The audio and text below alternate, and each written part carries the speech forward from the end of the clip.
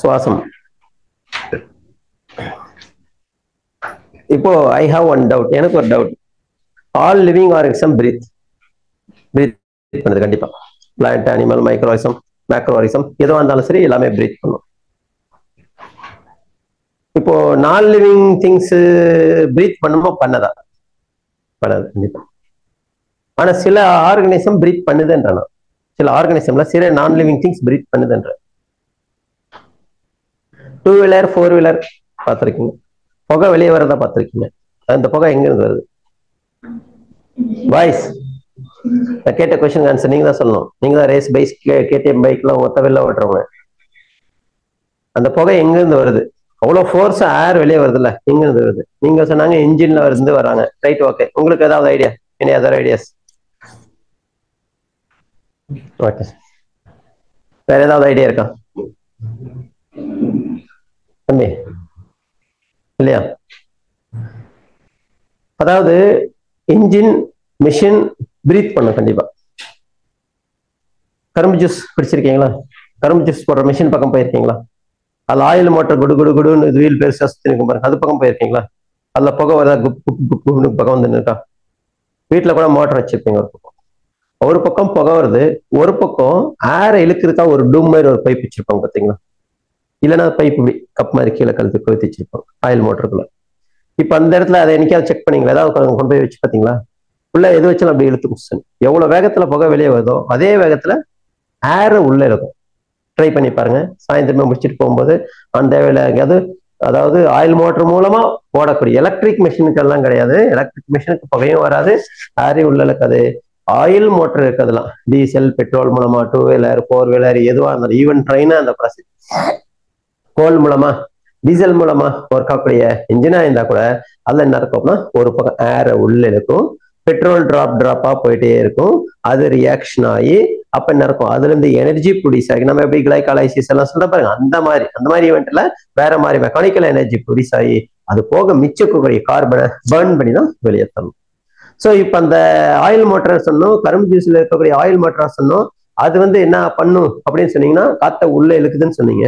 அதை நிறுத்தணும்னா நம்மளுக்கு அந்த ஆயில் மோட்டரில் சும்மா இப்படி தள்ளுற மாதிரி ஒரு இது மாதிரி வச்சிருப்பாங்க மெக்கானிசம் நீ வச்சா நிறுத்திடும் அது நிற்கும் ஆனா அந்த இதே தொடாம இந்த ஏர் பைப் எப்படி இருப்பாருங்க ஏர் வந்து டைரக்டட் ஏர் இழுக்கக்கூடிய பைப் எப்படி இருக்குன்னா இந்த மாதிரி கீழே டைரக்டட் வாட்ஸ் இப்படி இருக்கும். அதை எடுத்து கொண்டு போய் இந்த- அளவு தான் கையளவு தான் இருக்கும். இங்க வச்சீங்கன்னா கை இழுக்கும் சுன்னு இழுக்கும். அப்படியே கெட்டியே பிடிச்சிங்கன்னா இழுத்து நின்றுடும். நின்றுடும். மோட்டர் ஆஃப் ஆயிடும். அதே மாதிரி தான் டூ வீலர் ஃபோர் வீலருக்கும் அதே மாதிரி. டூ வீலர் கூட ஏர் ஃபில்டர்னு வச்சிருப்பாங்க. கேட்டு பாருங்க. மெக்கானிக் அதான் வெளியே பைப் அந்த இது இருக்கு பாருங்க. சைடில் அடிச்சு வச்சிருப்பாங்க பாருங்க. அதுக்குள்ள ஏர் ஃபில்டர் இருக்கும். அதுக்குள்ள ஏர் உள்ள போய் அந்த டஸ்ட் எல்லாம் படிச்சு ஏர் ஃபில்டர் படிச்சு மாத்தி விடுவாங்க. என்ன உள்ள கார்பன் எல்லாம் போயிடுச்சுன்னா காத்து போதன அளவுக்கு எப்படி நம்மளுக்கு மூக்கு அடைச்சிக்க சார் சரியா ப்ரீத் பண்ண முடியாது. ஸோ லைக் தட் அடைச்சிக்கும் அடைச்சிச்சுன்னா அதை கழட்டி போட்டு இப்போ அதையும் அதே மாதிரி தான். அங்க போய் ஏர் கையில் வச்சுட்டோம் அப்படின்னு வச்சுக்கோங்களேன் அங்க ஓடுற இது நின்றுடும். அது வரை இல்ல அதே டூ வீலர் ஃபோர் வீலர் நிறுத்துறதுக்கு என்ன பண்ணலாம்னா வெளியே வர பக்கம் இருப்பாங்க பக்கம் வர பைப்பை கழுத்து பிடிச்சாலும் கையில அழுத்து பிடிக்கும் போது சில இருக்கும். காலை பிடிச்சு அமுத்தி பிடிப்பாங்க பார்த்திருக்கீங்களா? பிடிச்சி அமுத்தி பிடிச்சிங்கனாலும் வெளியே வர ஏர் இல்லைனாலும் நின்றுடும் நம்மளுக்கு உள்ள வெளியே உள்ள இழுக்கிறது நின்னாலும் போச்சு. வெளியே வர்றது இருந்தாலும் போச்சு. ஸோ அதே மாதிரி தானே இருக்கும். ஸோ நான் லிவிங் திங் அப்படின் போது தட் இஸ் மெஷினரிஸ் ஆல்சோ என்ன இருக்கும்? Associated with functioning of mechanism of respiration respiration ஏரை அப்சர்வ் பண்ணுது. அப்ப ஏர் இருந்தால் தான் ரியாக்ஷன் அப்போ that is oxidation and reduction கேள்விப்பட்டிருக்கும்? ஆக்சிகரணம் ஒடுக்க வினைகள் சொல்லிருக்கோம் அது நடந்தாதான் எனர்ஜி கிடைக்கும். அதே மாதிரி இங்க breathing and exchange of gases breathing என்ன என்ன? அப்படின்னா பிரீத்திங் அப்படின்றது என்னதுன்னா ஏர் வெளியே இருக்கக்கூடிய ஏர் உள்ள போக போய் போக போயிட்டு இங்க பாருங்க. ஏர் உள்ள போயிட்டு வெளியே வரக்கூடிய ப்ராசஸ்க்கு மட்டும்தான் என்ன சொல்றோம்? பிரீத்திங் அப்படின்னு சொல்றோம். உள்ள போகக்கூடிய process this is call inspiration inspiration and இதுக்கு பேர் எக்ஸ்பிரேஷன் எக்ஸ்பிரேஷன் தட் இஸ் இது உட்சுவாசம். உட்சுவாசம். சுவாசம். இது என்னது? வெளிச்சுவாசம். வெளி சுவாசம் சோ வெளிச்சுவாசத்தப்ப என்ன வெளியே வருது? கார்பன் டை ஆக்சைடு வெளியே வரும். உள்ள போகும்போது இது ஆக்சிஜன் உள்ள போகும். சார் எனக்கு ஒரு டவுட் உள்ள போகும்போது ஆக்சிஜன் மட்டும்தான் போகுமா? வெளியே வரும்போது கார்பன் டை ஆக்சைடு மட்டுமா வரும்? நோ வெளியே இங்க என்ன ஏர் இருக்கோ அது எல்லாமே தான் போகும். கார்பன் ஹைட்ரஜன் ஆக்சிஜன் எல்லாமே தான் சேர்ந்து போகும். பாருங்க டோர் ஃபுல்லா க்ளோஸ் பண்ணி வச்சுக்கோ நம்ம ரிலீஸ் பண்ண ரெண்டு நாலு ஆறு எட்டு பத்து பன்னெண்டு பேர் இருக்கும். பன்னெண்டு பேருடைய கார்பன் டை ஆக்சைடு அக்குமுலேட்டிங்கே ஆகும் ஆயுது. அப்போ அந்த ஆக்சிஜனை அந்த ஏசி ஒர்க் ஆகி அது உள்ள அப்சர்வ் பண்ணிச்சுன்னா ஓகே இல்ல அப்படி என்ன இருக்கும் அதே கார்பன் டை ஆக்சைடும் சேர்ந்து தான் போக ஆரம்பிக்கும். ஸோ அந்த மாதிரி உள்ள போகும்போது ஆக்சிஜன் அதிகமாகும் வெளியே வரும்போது கார்பன் டை ஆக்சைடு அதிகமாகவும் இருக்கும். இது வரைக்கும் நடக்கக்கூடியதுக்கு பேர் தான் பிரீத்திங் அதுக்கப்புறமா இங்க லங்ஸ்ல இருந்து டிஷ்யூக்குள்ள போகுது பாருங்க. டிஷ்யூக்குள்ள போகும்போது நம்மளுக்கு இங்க என்ன ஃபார்ம் ஆயிருக்கும் கார்பன் டை ஆக்சைடு ஃபார்ம் ஆயிருக்கும் இந்த கார்பன் டை ஆக்சைடை கொடுத்துட்டு ஆக்சிஜனை வாங்கிக்கூடிய ப்ராசஸ்க்கு என்ன பேருனா எக்ஸ்சேஞ்ச் எக்ஸ்சேஞ்ச் ஒண்ணு கொடுத்துட்டு இன்னொன்று வாங்கிக்கணும். கடைக்கு போறோம். காசை கொடுத்துட்டு பொருளை வாங்கிக்கணும் இல்லை பொருளை கொடுத்துட்டு காசை வாங்கிக்கணும் ஸோ அந்த மாதிரி இருக்கக்கூடிய தான் பிரீத்திங் அண்ட் எக்ஸ்சேஞ்ச் பிரீத்திங் என்னென்ன இருக்கும்? ஏர் உள்ள எடுத்து வெளியே விடும் லங்ஸோட முடிஞ்சு போச்சு. எக்ஸ்சேஞ்ச் அல்லது ரெஸ்பிரேஷன்ன்றது எங்கன்னா செல்லுக்குள்ள நடக்கக்கூடியதான் ரெஸ்பிரேஷன் செல்லுக்குள்ள என்ன நடக்குது? What happens inside the cell mitochondria செல்லுக்குள்ள என்ன நடக்குதுன்னா மைட்டோகான்ட்ரியாக்குள்ள எக்ஸ்சேஞ்ச் ஆஃப் கேசஸ் நடக்குது. புரியுதுங்களா? சரி ஓகே இப்போ அடுத்து இங்க கொடுத்துருக்கோம் பாருங்க. So what is respiration respiration என்ன என்ன? இங்க சொல்லியிருக்காங்க. ரெஸ்பிரேஷன் இதை oxidation of the nutrients oxidation so what is oxidation so oxidation அப்படின்றது என்ன இருக்கும்? அதாவது ஃபார் எக்ஸாம்பிள் இங்க குளுக்கோஸ் இருக்குதுன்னு வச்சுக்கோங்க. குளுக்கோஸ் குளுக்கோஸ் குளுக்கோஸ் என்னவா மாறுது அப்படின்னு சொன்னீங்கன்னா that is glucose is converted to ATP ATP adenosine ட்ரைபாஸ்பேட்டா மாறும் நம்மளுக்கு தெரியும். இது போகும்போது என்ன யூஸ் ஆகும் அப்படின்னா ஆக்சிஜன் யூட்டிலைஸ் பண்ணும் by utilising oxygen glucose is convert into ATP not only ATP is release in addition to நம்மளுக்கு என்ன ரிலீஸ் ஆகும்? கார்பன் டை ஆக்சைடு ரிலீஸ் ஆகும். Some amount of water also form எல்லா நீ எந்த அளவுக்கு ட்ரையா இருந்தாலும் சரி ஃபுட் ஃபுட் வந்து எந்த அளவுக்கு ட்ரை ஃபுட்டா இருந்தாலும் அந்த minimum amount of water that water is also get eliminated in addition to this some amount of the waste material there is ammonia ammonia is converted into urea urea excretory waste படிக்கிறோம் புரியுங்களா அப்ப release பண்ணக்கூடிய அந்த waste எங்க போய் யூரியாவா மாறும்? லிவர்ல போய் யூரியாவா மாறும். And in addition to this, some amount of the energy is liberated in the form of heat energy. Heat energy release ஆகும் ஹீட் வந்து அந்த ஹீட்டு தான் நம்ம பாடியை ஆல்வேஸ் வார்மா மெயின்டைன் பண்ணும் ஸோ இத்தனை மெட்டீரியல் வந்து ரிலீஸ் ஆகுது அட் த டைம் டம் ஆஃப் மெட்டபாலிசம் இதுக்கு பேர் என்ன சொல்றோம் மெட்டபாலிசம் மெட்டபாலிசம் மெட்டபாலிசம்ன்றது பிரேக் டவுன் வளர்ச்சிதை மாற்றம் அப்படின்னு சொல்றோம் பாத்தீங்களா? அந்த வளர்ச்சிதை மாற்றத்துக்கோ என்ன ஆகுது அப்படின்னு சொன்னீங்கன்னா இத்தனை பொருள் வந்து இந்த இடத்துல ரிலீஸ் ஆகுது. இந்த இன்னும் ஒவ்வொரு பொருளுடைய சிக்னிபிகன்ஸ் தெரியும் நம்மளுக்கு ஏடிபி இது எதுக்காக யூஸ் ஆகுது அப்படின்னு சொன்னீங்கன்னா எனர்ஜி வந்து யூட்டிலைஸ் பண்ணிக்குது. ஓகே அடுத்தது CO two it is release out and water water is also release out இந்த ஃபார்ம் ஆஃப் ஸ்வெட்டா வெளியே போகும். அண்ட் இந்த ஃபார்ம் ஆஃப் எக்ஸ்பிரேஷன்ல வாட்டர் வேப்பர் வழியே போகும். புரியுதுங்களா? சம் அமௌண்ட் யூரின்ல போகும். அண்ட் நெக்ஸ்ட் அமோனியா அதான் யூரியாவை மாறும் அப்படின்னு சொல்லியிருக்கோம்.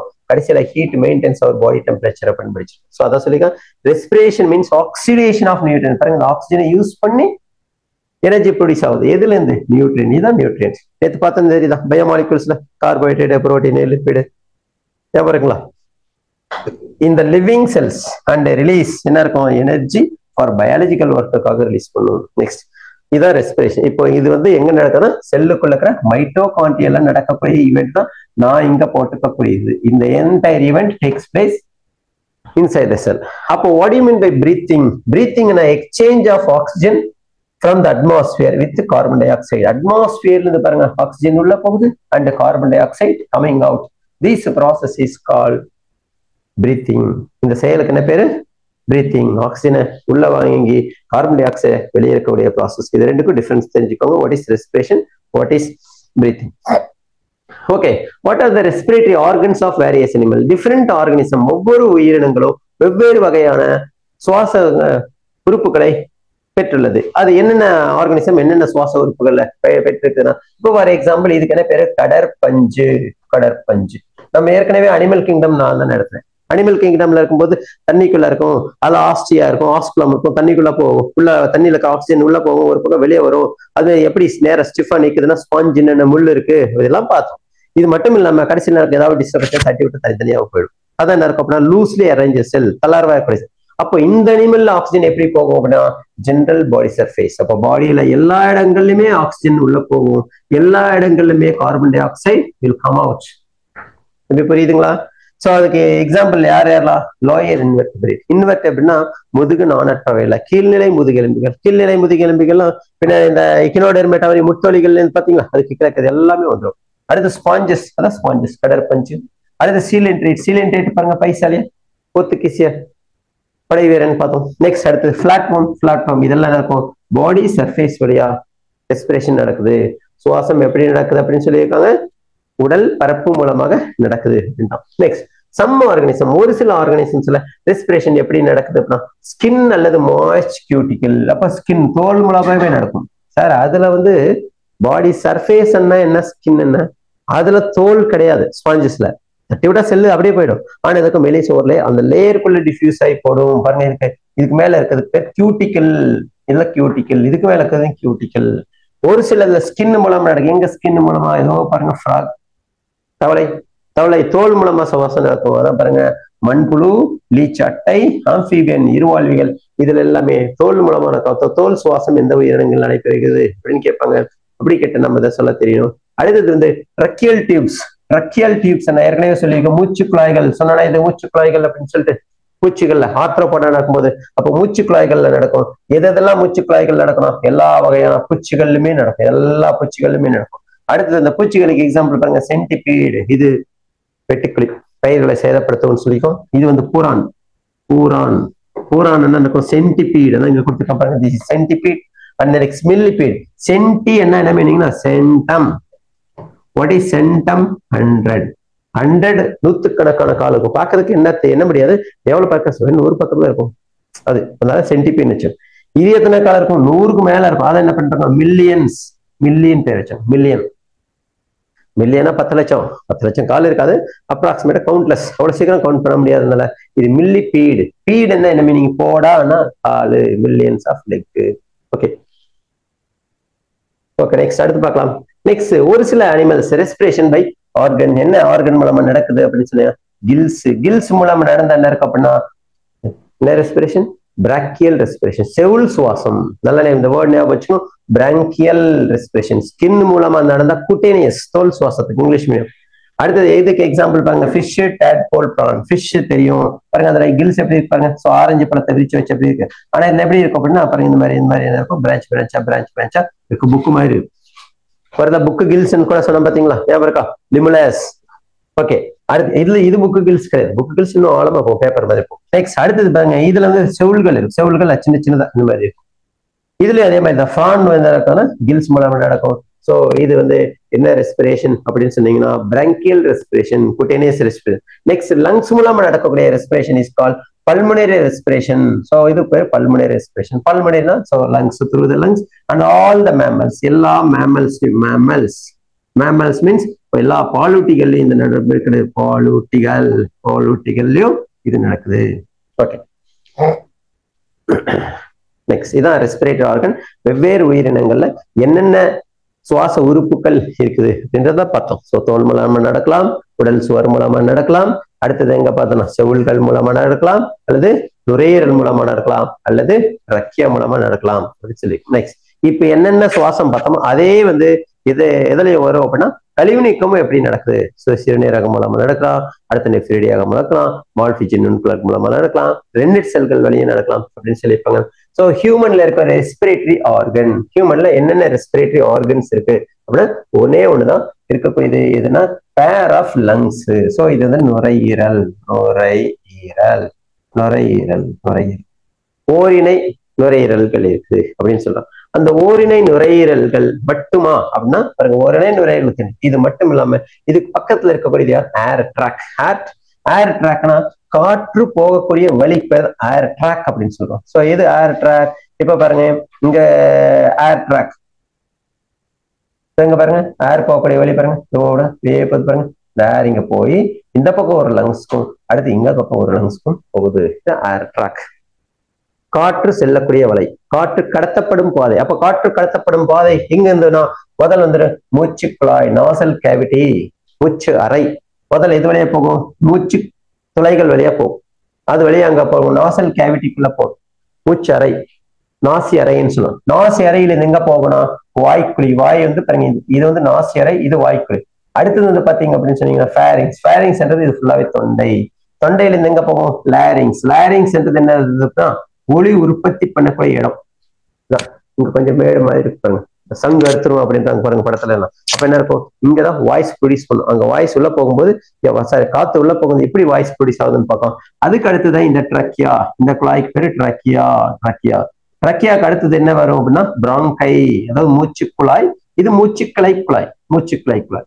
மூச்சுக்கிளை குழாய். உள்ள படப்படி இதுல வலது நுரையீரல் எத்தனை பக்கம் இருக்கு? எத்தனை பாட்டு இருக்கு? இடது வலது நுரையீரலுக்கு எத்தனை பாட்டு போகணும்? மூணு குழாய்கள் போகும். மூணு குழாய்கள் போகும். இது முதல் நிலை நுண்குழாய் இரண்டாம் நிலை.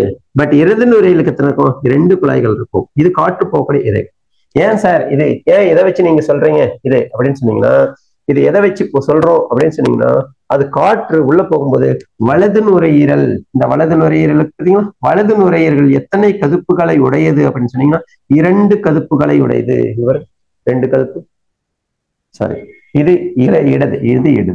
இடது நுரையீரல் இது வலது நுரையீரல். இது left and this one right எனக்கு இது லெஃப்ட் எல்லாமே மிரர் இமேஜ் தான். அண்ணாடியில பார்க்கும்போது நம்ம எப்படி ஆப்போசிட் இது. இடது நுரையீரல் இரண்டு கதுப்புகளையும் டூ லோப்ஸ் வலது நுரையீரல் எங்க பாருங்க? இங்க லோப் தெரியுதா? கதுப்புகள் தெரியுதா? மூன்று நுரையீரல்கள் உடையது. அதனால இதுக்கு மூன்று காற்றுக்குழாய்கள் போகும். இதுக்கு இரண்டு காற்றுக்குழாய்கள் போகும். சரி.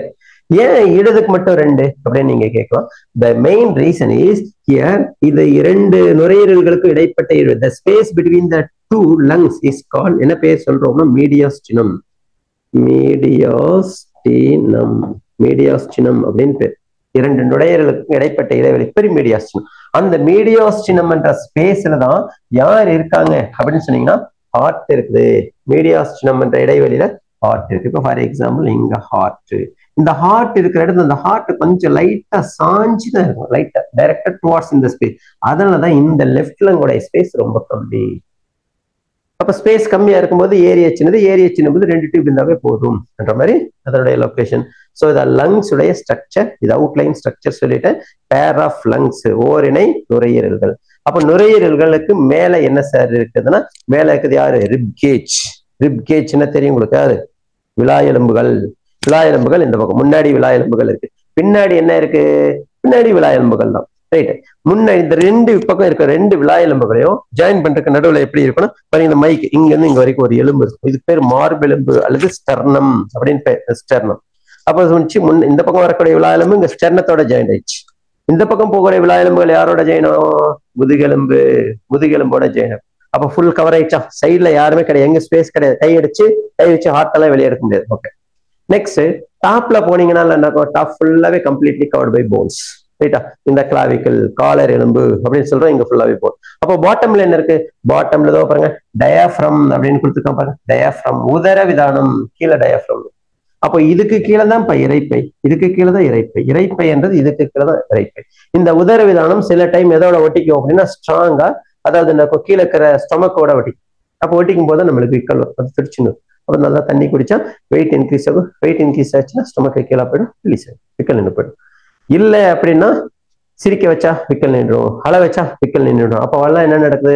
What happen during this time the more amount of oxygen enter oxygen நிறைய இருக்கும்போது சிரிக்கும் போது அப்ப நடக்கும் இருக்கும்? ஏர் உள்ள போகும்போது கூல் ஆகும். கூல் ஆகும்போது அது வில் பி ரிலீஸ் அது ரிலீஸ் ஆயிடும் அப்படின்னு சொல்றோம் ஸோ இதுல தான் இங்க கொடுத்துக்கூடிய லேபிள்ல பாத்துங்க இது லெஃப்ட் லங் இது ரைட் லங் இது லெஃப்ட் பிரைமரி பிராங்கை இடது பக்கம் முதல் நிலை மூச்சுக்குழாய்.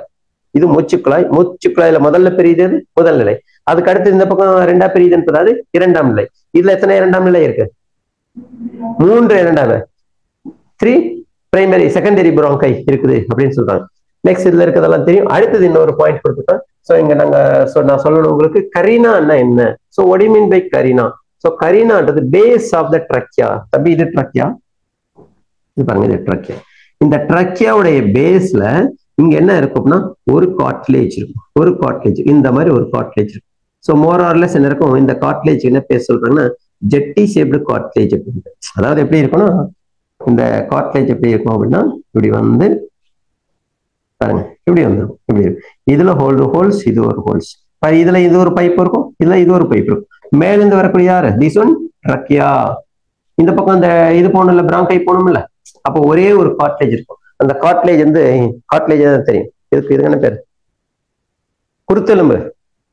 குருத்தெலும்பு தான். காது மேடப் ஆஃப் குருத்தெலும்பு காட்லேஜ் அப்போ இதுக்கு பேர் என்ன கரீனான்னு பேர். இந்த கரீனாவுடைய ஸ்பெஷாலிட்டி என்ன? ஒடி மீன் ஒடி த ஸ்பெஷாலிட்டி ஆஃப் த கரீனானா? கரீனாக்குள்ள மைன்யூட்டா இருக்கக்கூடிய ஹேர் இருக்கும். சிலியா இருக்கும். If any dust particle enters inside the carina dust பார்ட்டிகளோ ஸ்மெல்ல கொடுக்கக்கூடிய பார்ட்டிகளோ உள்ள போச்சுன்னா இந்த கரீனால இருக்கக்கூடிய சிலியா ஃபோர்ஸ்ஃபுல்லி எக்ஸ்பெல் அவுட் வெளியே பிடிச்சி தள்ளி. அதனால தான் இருமல் தும்மல் வரும். நம்ம கிச்சன்ல தான் ஃப்ரை பண்றாங்க. இருமல் தும்மல் வருதா? அப்ப அந்த பொருள் இது வழியா போகும்போது சும்மா சென்சேஷன் தான் இருக்கும்.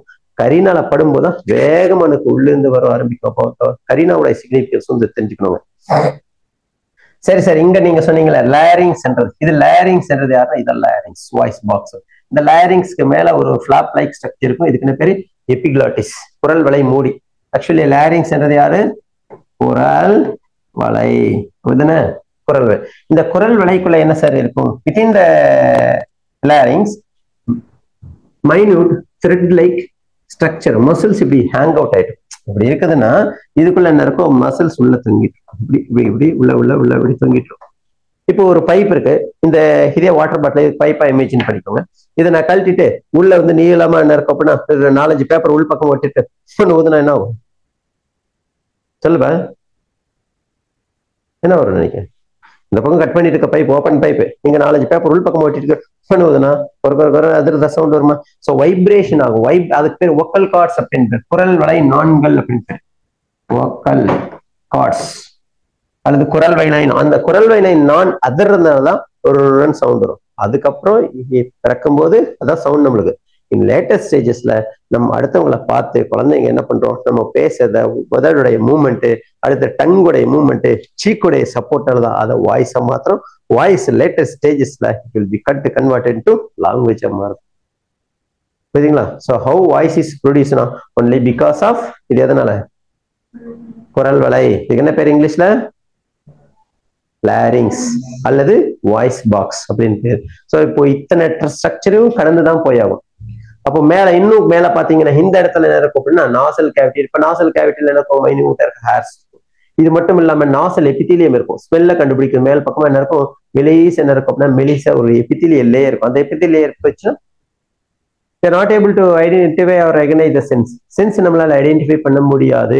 ஸோ இது இதுவும் இப்போ சென்ஸை கண்டு ஏர் வழியா போகிற ஸ்மெல் பார்ட்டிகல்ஸ் இங்கே டிடெக்ட் ஆகும். அப்புறம் ஹேர் இருக்கிறதுனால ஹேர் உள்ள போகும்போது ஹேர் ஹேர் முடி முடி இருக்கும். அது டஸ்டெல்லாம் ஃபில்டர் பண்ணும். இதெல்லாம் போகும்போது நேரம் இங்க போகும்போது என்ன ஆகும் அப்படின்னு சொன்னீங்கன்னா அந்த ஹேர் எல்லாம் ஃபில்டர் பண்ணி ஒன்லி லங்ஸ் மட்டும்தான் போகும்.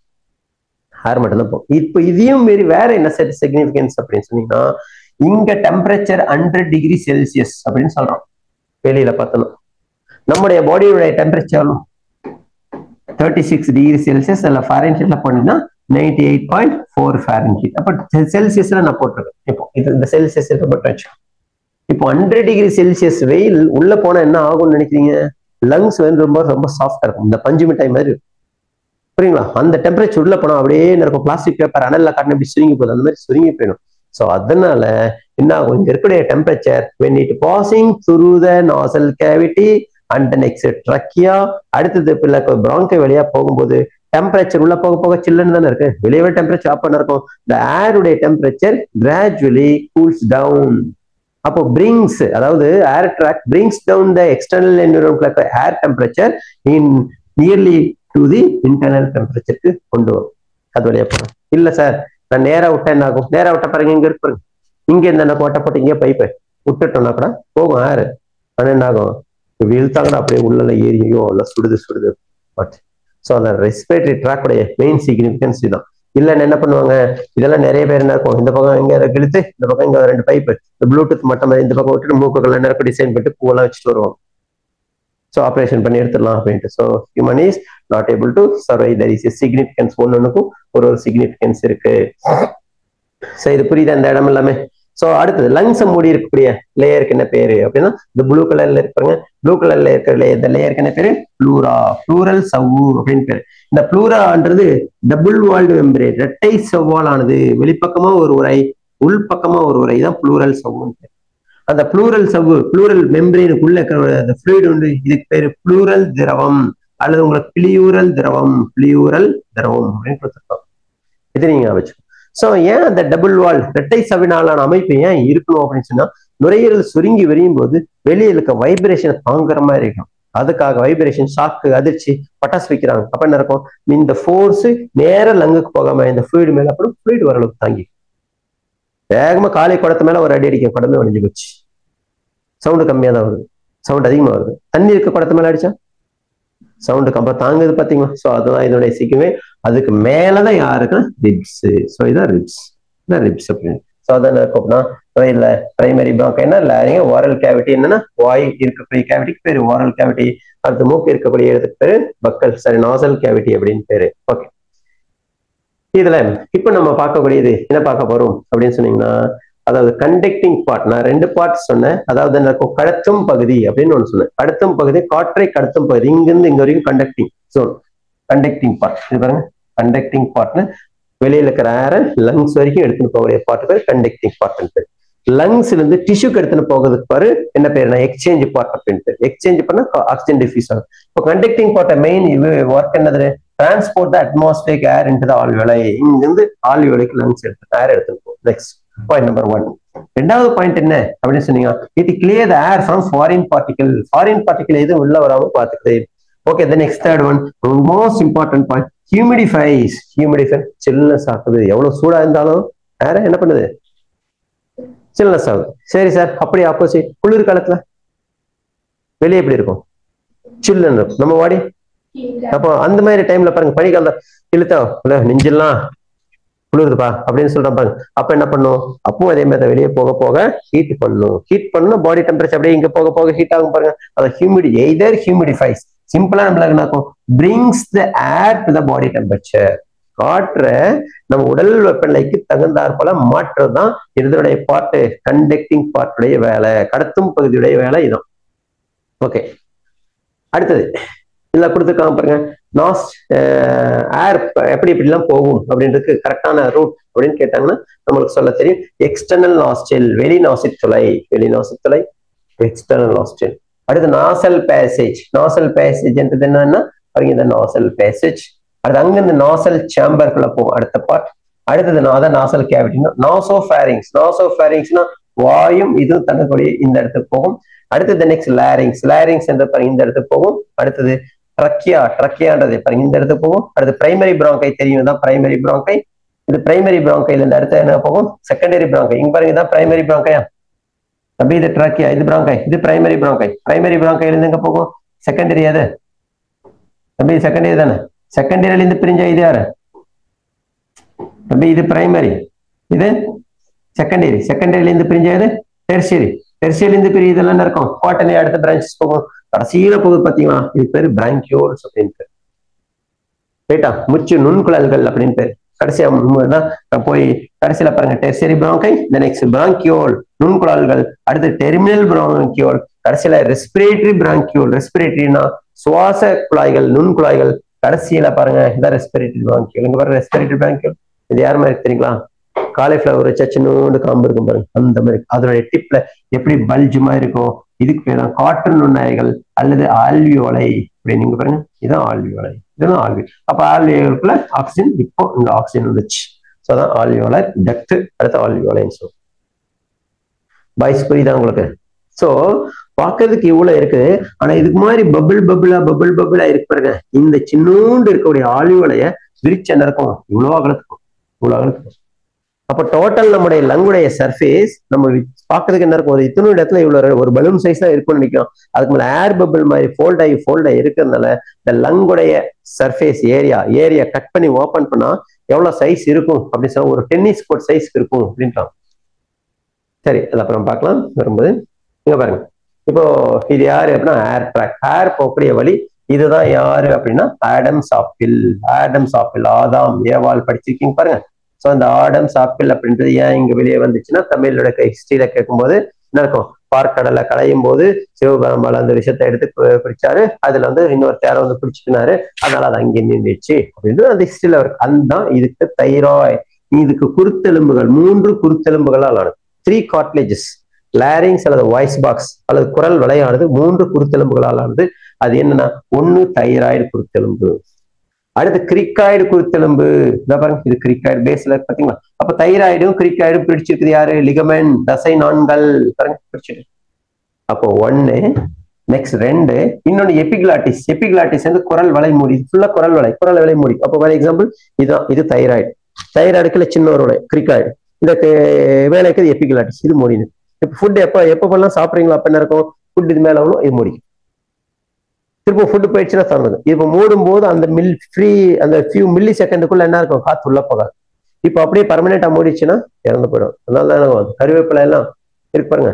அப்படியே விழுங்கி இறந்து போனவங்களாம் எத்தனை பேர்? கருவேப்பிலை பட்டையா இருக்கும் பாருங்க. போய் என்ன அப்படியே ஃபிளாப் ஆயிக்கும். ஒட்டிக்கும். வெளியே வராது. ஆயிலோட இருக்கிறதால டக்குன்னு வெளியே வராது. இப்போ வெளியே வராத என்ன இறந்து போன குழந்தைங்க பெரியவங்களா இருக்கிறதுனால கருவேப்பிலை எப்பவுமே என்ன பண்ணணும்?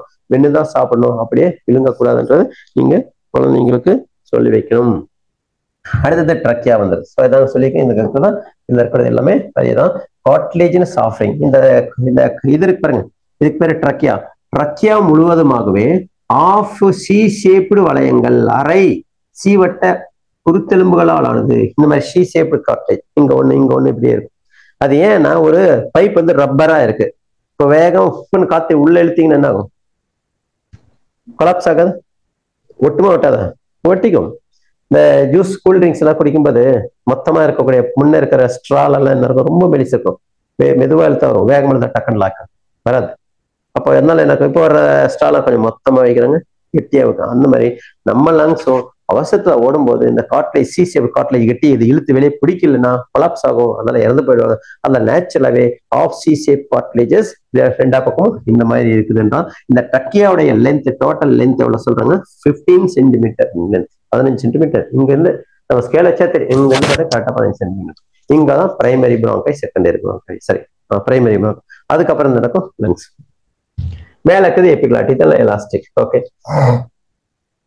நெக்ஸ்ட் அடுத்தது லங்ஸ் என்ன? இதுதான் லங்ஸ் இங்க கொடுத்துருக்கக்கூடிய லங்ஸ் அதெல்லாம் கொடுத்துருக்கோம் எல்லாமே ஃபுல்லா என்ன சுரப்பிகளுக்கும் மியூக்கஸ் சுரப்பிகள் இருக்கும். வலுவழுப்பான திரவத்தை சுரக்கக்கூடிய இது இருக்கும். Lungs equal to bronchi bronchiole alveoli பிராங்கைன்றது யாரு பிராங்கைன்றது பிரைமரி பிராங்கை செகண்டரி பிராங்கை பாருங்க பிராங்கை அடுத்து பிராங்கியோல் இது எல்லாமே சேர்ந்தது லங்ஸ் இதுக்கு தான் கண்டக்டிங் பக்கம் வந்துடும் லங்ஸ்குள்ள எப்படி இருக்குன்றத பாட்டுருக்கேன் லங்ஸ்குள்ள பதினஞ்சு இருக்கு இதை வந்து ரொம்ப புண்ணாயிடுச்சு அப்படின்னா அதான் நிமோனியா நிமோனியா காய்ச்சல் ஃபுல்லா டாட் டாட் டாட் ஆயிடும். Next internal structure of the லங்ஸ்ல so three lobes one two three lobes left side இருக்குது டூ லோப்ஸ் நெக்ஸ்ட் ஸோ இதுல சிபிஎஸ்சியில் இருக்கக்கூடிய புக்கு ஸோ இதில் இருக்கக்கூடிய லங்கு மேலே இருக்கிறது எல்லாமே என்னது? ரிப்ஸ் இது ஒரு கிளான்ஸ் பார்த்துங்க கீழே என்ன இருக்கு அப்படின்னு சொல்லிக்கோ டயஃப்ரம் ஸோ இந்த இடத்துல டயஃப்ரம் இருக்கு. டயஃப்ரம் தமிழ் என்ன பேர் சொன்னோம்? உதர விதானம். உதர விதானம் இருக்கும். மூச்சு உள்ளே இழுக்கும்போது கீழ் பக்கமா போகும். மூச்சு வெளியே விடும்போது மேல் பக்கமா போகும். அதே மாதிரி உட்சுவாசத்தை போ நுரையீரலுக்கு எப்படி விரியும்? வெளிப்பக்கமா விரியும். வெளியே வச்சு வாசத்தை எப்படி இருக்கும் உள் பக்கமா தெரியும் ஓகே நெக்ஸ்ட் ஸோ இதெல்லாமே பார்க்கலாம். இதோட ஸ்ட்ரக்சர் நம்ம எங்க சொன்னோமோ அதே தான் இங்கே கொடுத்துருக்குறாங்க இப்போ பாருங்க உங்களுக்கு டவுட் இருந்துச்சு அப்படின்னு சொன்னா இங்க பார்க்கலாம். பாருங்க இது எல்லாமே ரிப்ஸ் ரிப்ஸ் படிக்கும்போது விழாயம்புகள் படிக்கும்போது எத்தனை பேர் ஆஃப் ரிப்ஸ் அப்படின்னு படிச்சிருக்கோம்? சொல்லுங்க பார்க்கலாம். எத்தனை பேர் ஆஃப் ரிப்ஸ் பார்த்தம்பி டுவெல் பேர் ஆஃப் ரிப்ஸ் பன்னெண்டு இணைகள் இருக்கும் டுவெல் இதுல ஃபர்ஸ்ட் டென்னு டைரக்டா ஒட்டின்னு இருக்கும். யாரோட? இந்த ஸ்டெர்னத்தோட ஸோ வாட் இஸ் ஸ்டெர்னம் மார்பு எலும்பு. இது மார்பு எலும்போட ஒட்டிக்குதான் மார்பு எலும்பு. இந்த மார்பு எலும்போட ஒட்டினுக்கும் ஒன்னுல இருந்து ஏழாவது விழா எலும்பு வரைக்கும் டைரக்டா ஒட்டின்னு இருக்கும். அதனால ட்ரூ ரிப்ஸ் அப்படின்னு பேரு. இதுங்களுக்கு பேரு ட்ரூ ரிப்ஸ் அடுத்தது ரிமைனிங் இருக்கக்கூடியது. எது ரிமைனிங் இருக்கக்கூடியது பாருங்க. ஏழாவது பட்டம். பாருங்க ரிமைனிங் இருக்கக்கூடியது seventh eighth ninth seven eight nine இது மூணுமே போய் செவன்த்தோட ஒட்டிது அதனால செவனு செவன் இல்ல sorry eight ninth eight ninth eight seven தான் எல்லாம் இது வரைக்கும் வந்துச்சுல. இது ரெண்டு எல்லாத்துக்கு என்ன பேரு ஃபால்ஸ் ரிப்ஸ் அப்படின்னு பேர். ஆமா பொய் விழா எலும்புகள். மேல இருக்கிறது தான் மெய் அல்லது உண்மையான விழா. கடைசி ரெண்டு பாத்தீங்களா? இது பாருங்க இது எதோட ஒட்டின்னு காணாம தனிக்கு தாங்க பின்னாடி பக்கம் நீட்டி நிற்பாங்க இதுக்கு பேரு என்ன ஃப்ளோட்டிங் ரிப்ஸ் அப்படின்னு பேர் என்ன ரிப்ஸ் ஃப்ளோட்டிங் ரிப்ஸ் அப்படின்னு இந்த ஃப்ளோட்டிங் ரிப்ஸை நம்மளால சென்ஸ் பண்ண முடியும். ஃப்ரீயா இருக்கும்போது இப்படியே வச்சிங்கன்னா பாருங்க இங்கெல்லாம் அப்படியே உள்ளங்க வரையும் வரும். ஒரு கடைசியில பாருங்க பாதி நிற்கும் வச்சிங்கன்னா பாருங்க இங்க ஒன்று நிற்கும் கடைசியில வரும் நிற்கும் இதான் ஃபால்ஸ் ரிப்ஸ் அப்படின்னு பேர். இது வந்து எதாவது வரும்னா லோகமோஷன் மூமெண்ட்ல வரும். அடுத்த சாப்டர்ல வரும். நான் இங்கே சொல்லிட்டேன். ஓகே நெக்ஸ்ட் வேற இங்க என்ன சார் தெரிஞ்சுக்கணும் அப்படின்னா கீழே உதர விதானம் இருக்கும். அதே தான் இங்க இருக்கக்கூடியது கொடுத்துட்டோம். சைடு வியூ பார்க்கும்போது இங்க பாருங்க. ஃப்ளோட்டிங் ரிப்ஸ் தெரியுதா? ஒன்னு ரெண்டு மூணு நாலு அஞ்சு ஆறு ஏழு. ஏழு தான் ஸ்டென்னமோட வெட்டிருக்கோம். இது மிச்சம் இருக்கிறதெல்லாம் பாருங்க இது இது போய் இதோட இப்படி இப்படி ஒட்டிட்டு. கடைசி ரெண்டு யாரோட ஒட்டின்னு இருக்காங்க டயஃப்ரம் அப்படின்றது என்ன இருக்கும் அப்படின்னு சொன்னா இங்க இருக்கு இங்க போட்டிருக்காங்க. இங்குள்ள டயஃப்ரம் கிடையாது இந்த அளவுக்கு தான் diaphragm okay what are the steps in respiration அப்ப ரெஸ்பிரேஷன்ல என்னென்ன நடக்குது? வாட் ஹப்பன்ஸ் டூரிங் ரெஸ்பிரேஷன் சுவாசத்தின் போது என்ன நடக்குதுன்னா ஃபர்ஸ்ட் ஸ்டெப் என்ன கொடுக்குறாங்க அப்படின்னா first pulmonary ventilation what is pulmonary ventilation லங்ஸ்க்குள்ள air உள்ள போகிறது பேர் பல்மோனரி வென்டிலேஷன் புரியுங்களா? காற்று உள்ளே நுழைதல் தட் இஸ் உச்சுவாசம் ரெண்டாவது ஸ்டெப் என்ன இருக்கு? உள்ள போன அப்படியே கேஸ் எக்ஸ்சேஞ்ச் கேஸ் எக்ஸ்சேஞ்ச் என்ன நடக்குது? லங்ஸ்க்கும் பிளட்டுக்கும் நடுவில் நடக்குது. மூணாவது கேஸ் டிரான்ஸ்போர்ட் கேஸ் எங்கிருந்து டிரான்ஸ்போர்ட் ஆகுது?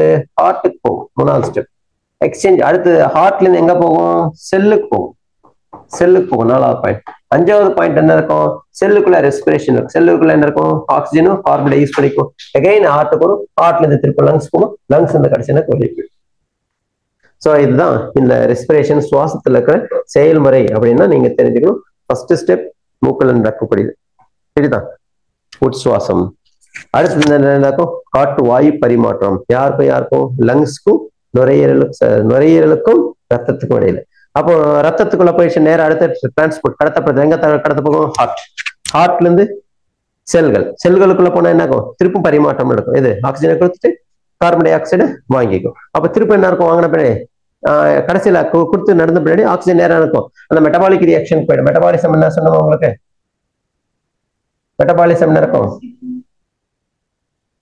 அதாவது குளுக்கோஸ் என்று ஏடிபிஎம் மாறுறதுக்காக என்ன பயன்படுத்தும்? ஆக்சிஜன் தான் வளர்சிதை மாற்றம் நடக்கும். அந்த வளர்சிதை மாற்றம் தான் இங்க கொடுத்துருக்கோம் செல்லுலார் டிஷ்யூ ரெஸ்பிரேஷன் சொல்றோம். அது முடிஞ்ச பின்னாடி நம்மளுக்கு என்ன கிடைக்கும்? சி ஓட்டு கிடைக்கும். இப்போ சி ஓட்டு கிடைச்சதுன்னா அந்த சி ஓட்டு திருப்பி இருக்கும். திசுவுல இருந்து ஹார்ட்டுக்கு வரணும். ஹார்ட்ல இருந்து லங்ஸ்க்கு வரணும். லங்ஸ்ல இருந்து என்ன பண்ணும் வெளியே போக இதான் கடைசி சீக்வன்ஸ் ஆஃப் ஸ்டெப்ஸ் இது தெரிஞ்சு வச்சுக்கோங்க. வரிசைக்கிரமான நிறவுகள் என்னென்ன? இப்போ நெக்ஸ்ட் இப்போ நம்ம பார்க்க போறது பிரீத்திங்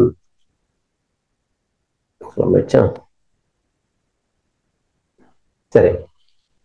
ஸோ பிரீத்திங் பிரீத்திங் என்ன என்னது? சுவாசம். சுவாசத்துல என்னென்ன ஸ்டெப் இருக்கா? ஒன் இன்ஸ்பிரேஷன் இன்னொன்னு எக்ஸ்பிரேஷன் ஸோ இன்ஸ்பிரேஷனா உள்ள போகிறது? எக்ஸ்பிரேஷனா வெளியே வருது. எது உள்ள போகும்? எது வெளியே வரும்? இது நம்மளுக்கு தெரியும். Right so active intake of air ஆக்டிவ்னா energy spend பண்ணி. நம்மளுக்கு சுவாசம் உள்ள இழுக்கணும்னா எனர்ஜி தேவைப்படும். வெளியே வர்றதுக்கு எனர்ஜி தேவையில்லை. ஒரு பலூனை ஊதணும்னா நமக்கு எனர்ஜி தேவை. பலூனுக்கு ஏர் வெளியே எடுக்கணும்னா எனர்ஜி தேவையில்லை. அதனால இது active but expiration is call என்ன ப்ராசஸ் பேசிவ் ப்ராசஸ் அப்படின்னு சொல்றோம். இப்போ ரெண்டு இதுக்குமே எங்க கொடுத்துருக்கோம்? What happens during inspiration what happens during expiration பார்க்கணும். இன்ஸ்பிரேஷன் என்ன? என்ன எக்ஸ்பிரேஷன்னா என்ன? இன்ஸ்பிரேஷன் அப்போ என்ன நடக்குது? எக்ஸ்பிரேஷன் அப்போ என்ன நடக்குது? அப்படின்றத நம்ம இங்க கொடுத்துருக்கோம். இங்க பார்க்கணும்.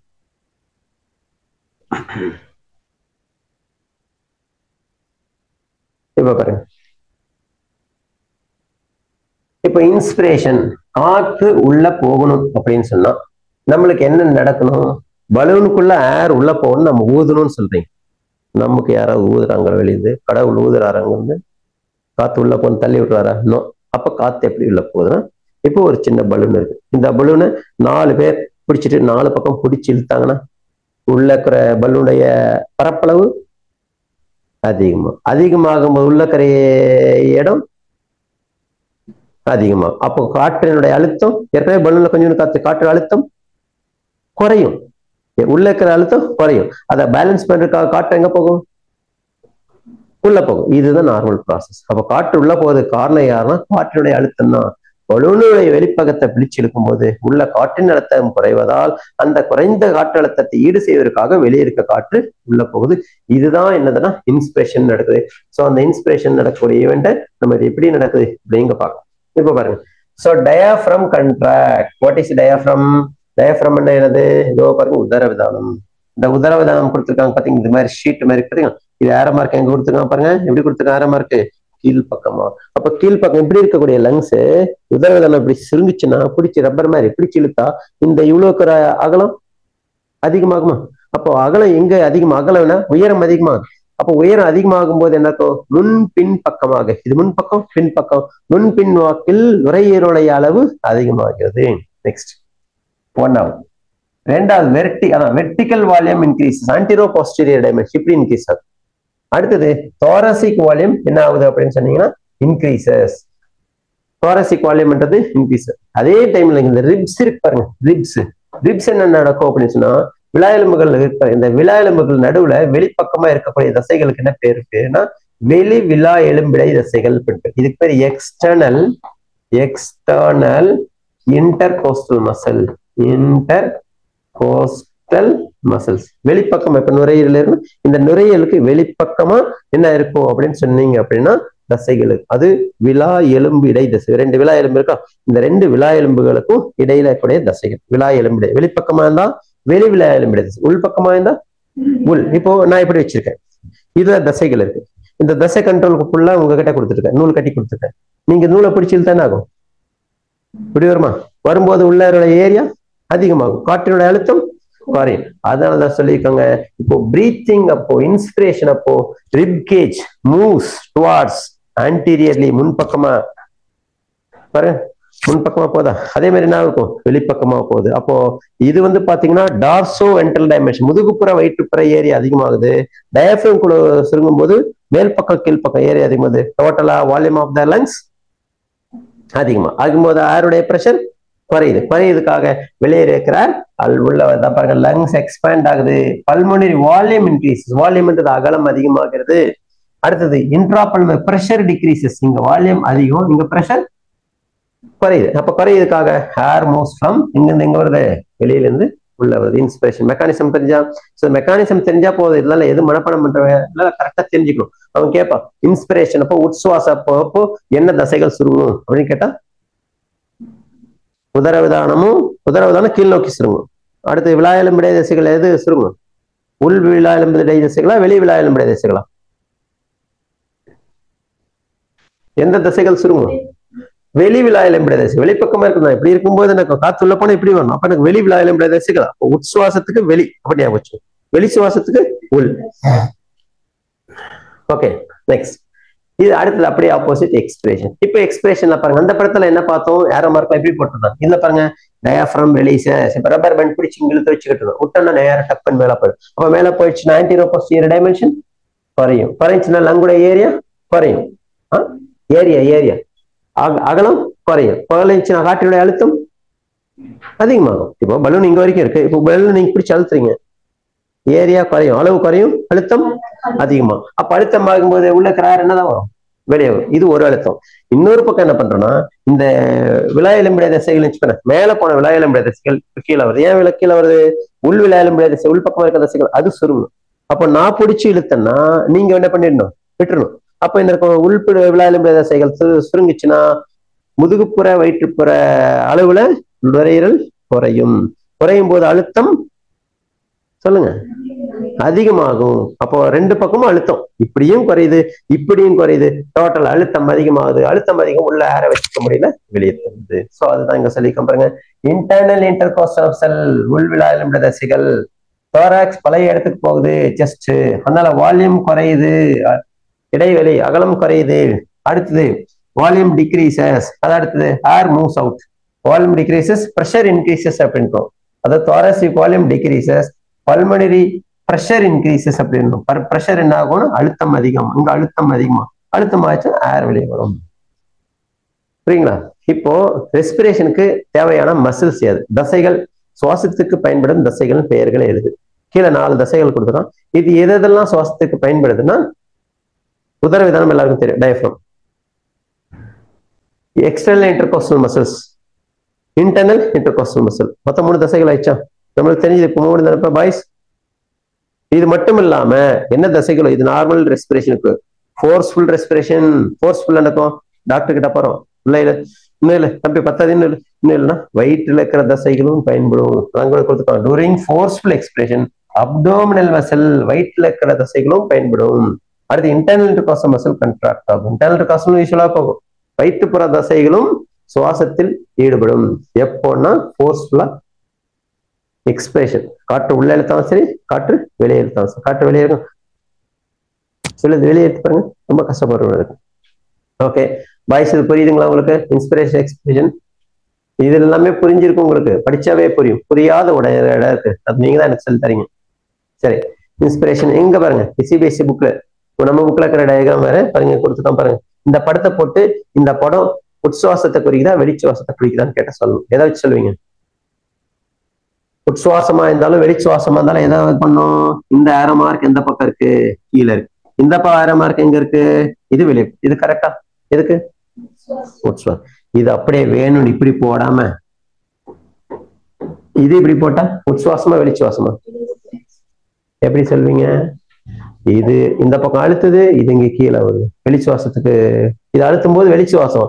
இது கீழே வரும்போது இது வராதே? மேல அப்ப என்ன இருக்கும்? இது உச்சுவாசமும் கிடையாது வெளிச்சுவாசமும் கிடையாது. அதை நீங்க நாலு படம் இது மாதிரி போட்டு மாத்தி கொடுக்கலாம். நேரமா இருக்கு. பாய்ஸ் புரியுதுங்களா? சரி ஓகே. பாத்துக்கோங்க இது அதே மாதிரி தான். பாருங்க ஏற மார்க் பாருங்க. கீழே வந்துச்சு இங்க என்ன இருக்கான் மேல இப்போ இது மேல வரும்போது இது உள்ள வரணும். ரெண்டு ஒரே டைரக்ஷன்ல இருக்காது இது உள்ள போய் இது இப்படியே வந்துச்சுன்னா கண்டிப்பா அந்த டயக்ராம் ராங் டயக்ராம் ஓகே இதான் எக்ஸ்பிரேஷனுக்கு நெக்ஸ்ட் அடுத்தது இந்த சுவாசத்தை அளவிடுறதுக்காக ஒரு கருவி ஒன்று வச்சிருக்காங்க. அந்த கருவிக்கு என்ன பேரு? அப்படின்னு சொன்னீங்கன்னா ஸ்பைரோமீட்டர் அப்படின்னு பேர். ஸோ இங்க கொடுத்துருக்காங்க பாருங்க.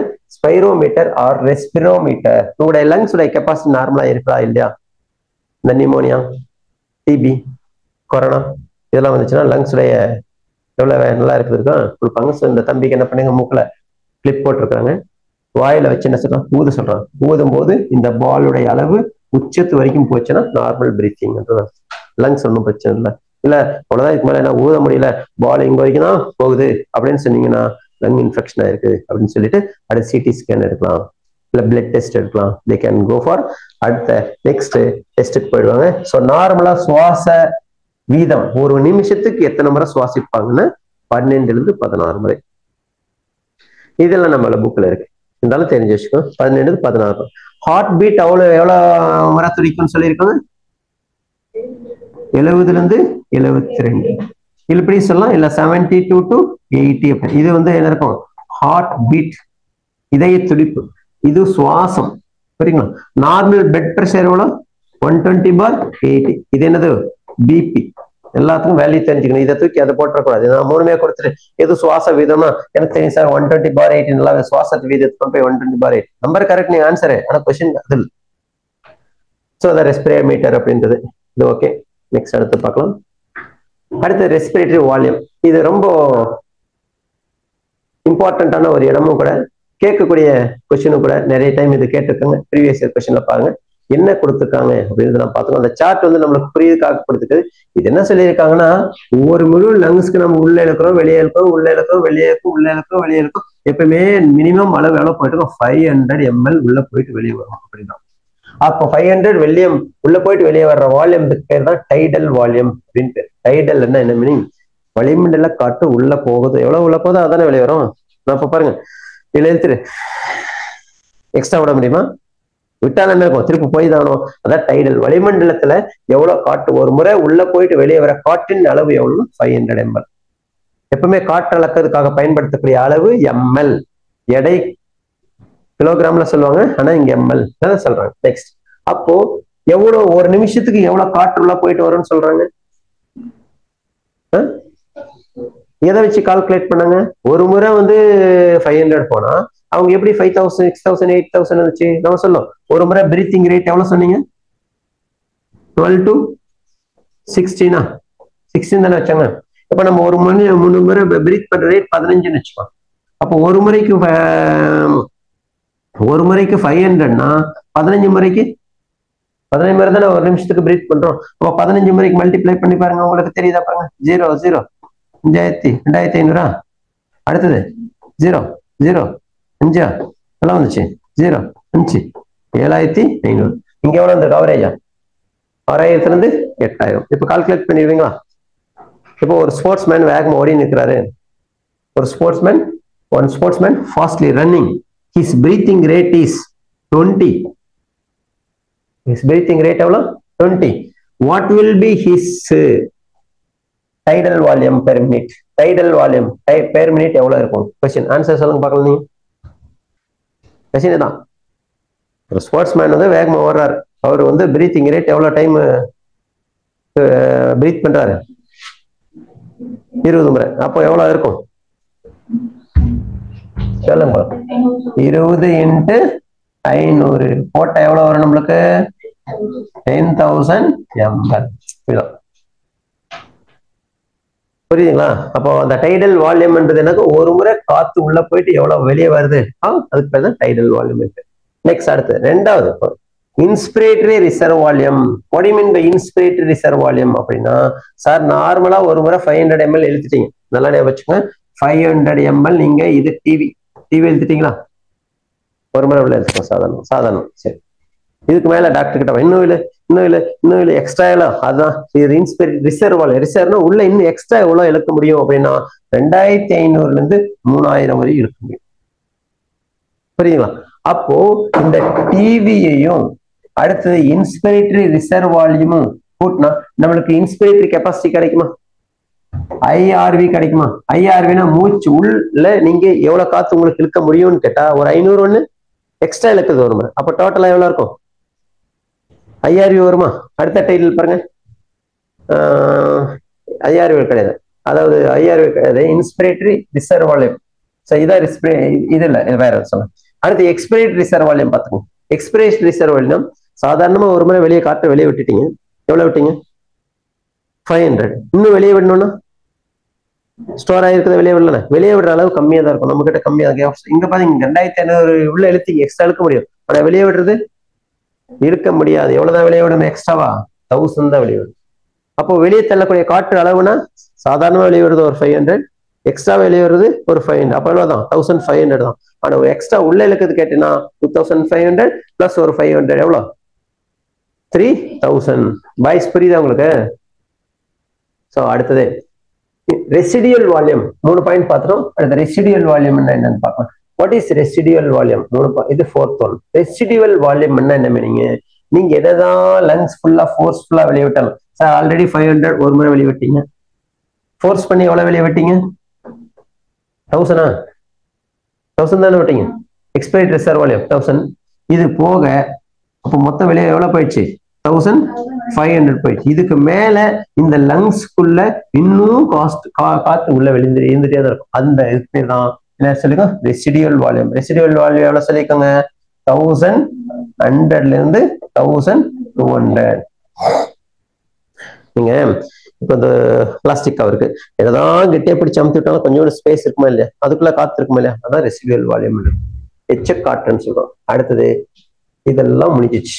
இதோட ஓவர் இப்போ இனிமே நம்ம பார்க்கறது என்ன பார்க்கறோம்னா ரெஸ்பிரேட்டரி கெப்பாசிட்டிஸ் அப்படின்னு சொல்றோம்.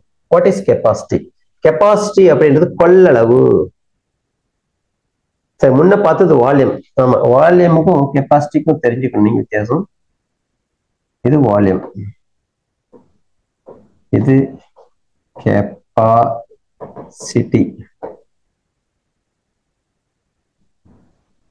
வால்யூம் இந்த பீக்கருடைய கெப்பாசிட்டி ஒரு லிட்டர் ஏன்? இந்த பாட்டில் இருக்கு. இந்த வாட்டர் பாட்டிலோடைய கெப்பாசிட்டி எவ்வளவு? சும்மா சொல்லுங்க ஒரு லிட்டர் இப்போ தண்ணி எவ்வளோ இருக்கு? அரை லிட்டர் இருக்கு அப்போ பாட்டில் ஹோல்டு பண்ணக்கூடிய கெப்பாசிட்டிக்கு பேரு கெப்பாசிட்டின்னு பேரு. பாட்டிலுக்கு ஆக்சுவலா உள்ள இருக்கிற அளவுக்கு எவ்வளவு பேர் என்ன பேரு? வால்யூம் பேர். அப்போ முன்ன பார்த்தது நம்ம என்ன பார்த்தோம்? முன்ன பார்த்தது என்ன பார்த்தோம்? வால்யூமை பார்த்தோம். வால்யூமை பார்த்தோமா? உள்ள எவ்வளவு பார்த்தோம்? இப்போ ரெண்டு மூணு போ இதை சேர்த்து பண்ணும்போது நம்மளுக்கு கெப்பாசிட்டி கிடைச்சிருமா? இப்போ பாருங்க. சரிங்க பாருங்க. Capacity inspiratory capacity inspiratory capacity மூச்சு உள்ள இழுக்கக்கூடிய கெப்பாசிட்டி எவ்வளோனா டிவி பிளஸ் ஐஆர் டி எவ்வளோ டிவி எவ்வளோ சொன்னால் சாதாரண ஒரு முறை உள்ள இழுக்கிறது எவ்வளவு? ஃபைவ் ஹண்ட்ரட் எக்ஸ்ட்ரா நம்மளால வெளியே எவ்வளோ இழுக்க முடியும்னா சொன்னா டூ தௌசண்ட் அப்ப டோட்டல் த்ரீ தௌசண்ட் அப்போ டோட்டல் நம்முடைய கெப்பாசிட்டி எவ்வளவு? த்ரீ தௌசண்ட் அப்படிதானே? அப்படிதானப்பா? சாதாரணமா ஒரு முறை உள்ள இருக்குது ஃபைவ் ஹண்ட்ரட் இன்னும் எக்ஸ்ட்ரா நம்ம எவ்வளவு ஊத்தலாம்? டூ தௌசண்ட் ஃபைவ் அப்போ டோட்டல் கெப்பாசிட்டி த்ரீ தௌசண்ட் புரியுது? அப்போ வாட்டர் பாட்டிலோட கெப்பாசிட்டி வேறு இது கெப்பாசிட்டி பார்க்கணும் புரியுதுங்களா இது? அதே மாதிரி எக்ஸ்பிரேட்டரி கெப்பாசிட்டினா ஒரு முறை நம்மளால எவ்வளவு விலைக்கு வெளியே எடுக்க தள்ள முடியும்? ஃபைவ் ஹண்ட்ரட் அதுல ஃபோர்ஸ் பண்ணி எவ்வளவு எடுக்க முடியும்? பிஆர்வி தௌசண்ட் தௌசண்டா பார்த்தோம். பாருங்க முன்னாடி திருப்பி பாருங்க. தௌசண்ட் தௌசண்ட் தான் நினைக்கிறேன். தௌசண்ட் ஹண்ட்ரடா தௌசண்டா தௌசண்ட் அப்போ பார்த்தீங்கன்னா உங்களுக்கு எக்ஸ்பெரிட்டி கெப்பாசிட்டி எவ்வளோ? Thousand five hundred ML next அடுத்தது இது one capacity two capacity three capacity functional residual capacity functional residual capacity volume of air that remain lungs after normal respiration normal respiration சாதாரண ஒரு முறை five hundred உள்ள போகுது. ஒரு முறை ஃபைவ் ஹண்ட்ரட் வெளியே வருது அப்போ ஏற்கனவே இருக்கக்கூடிய இந்த ரெண்டாயிரத்தி ஐநூறு உள்ளதானே இருக்கும்? ரெண்டாயிரத்தி ஐநூறு? சாரி இந்த தௌசண்ட் உள்ளதானே இருக்கும். அது இல்லாம ரெசிடியூல் வால்யூன்னு பார்த்தோம் பாருங்க. அது ஒரு ஆயிரம். எவ்வளவுதான் தள்ளினாலும் வெளியே வராம இருக்குது ஒன்று அடுத்தது எனக்கு ஃபோர்ஸ் பண்ணாதான் வருது அப்போ இது ரெண்டும் சேர்ந்ததுக்கு பேர் தான் என்ன பேர் சொல்லியிருக்கோம்? இஆர்வி அண்ட் இஆர்வி எவ்வளோ சொல்லிக்கும் எக்ஸ்பிரேட் ரிசர்வ் வால்யூம் எவ்வளோ?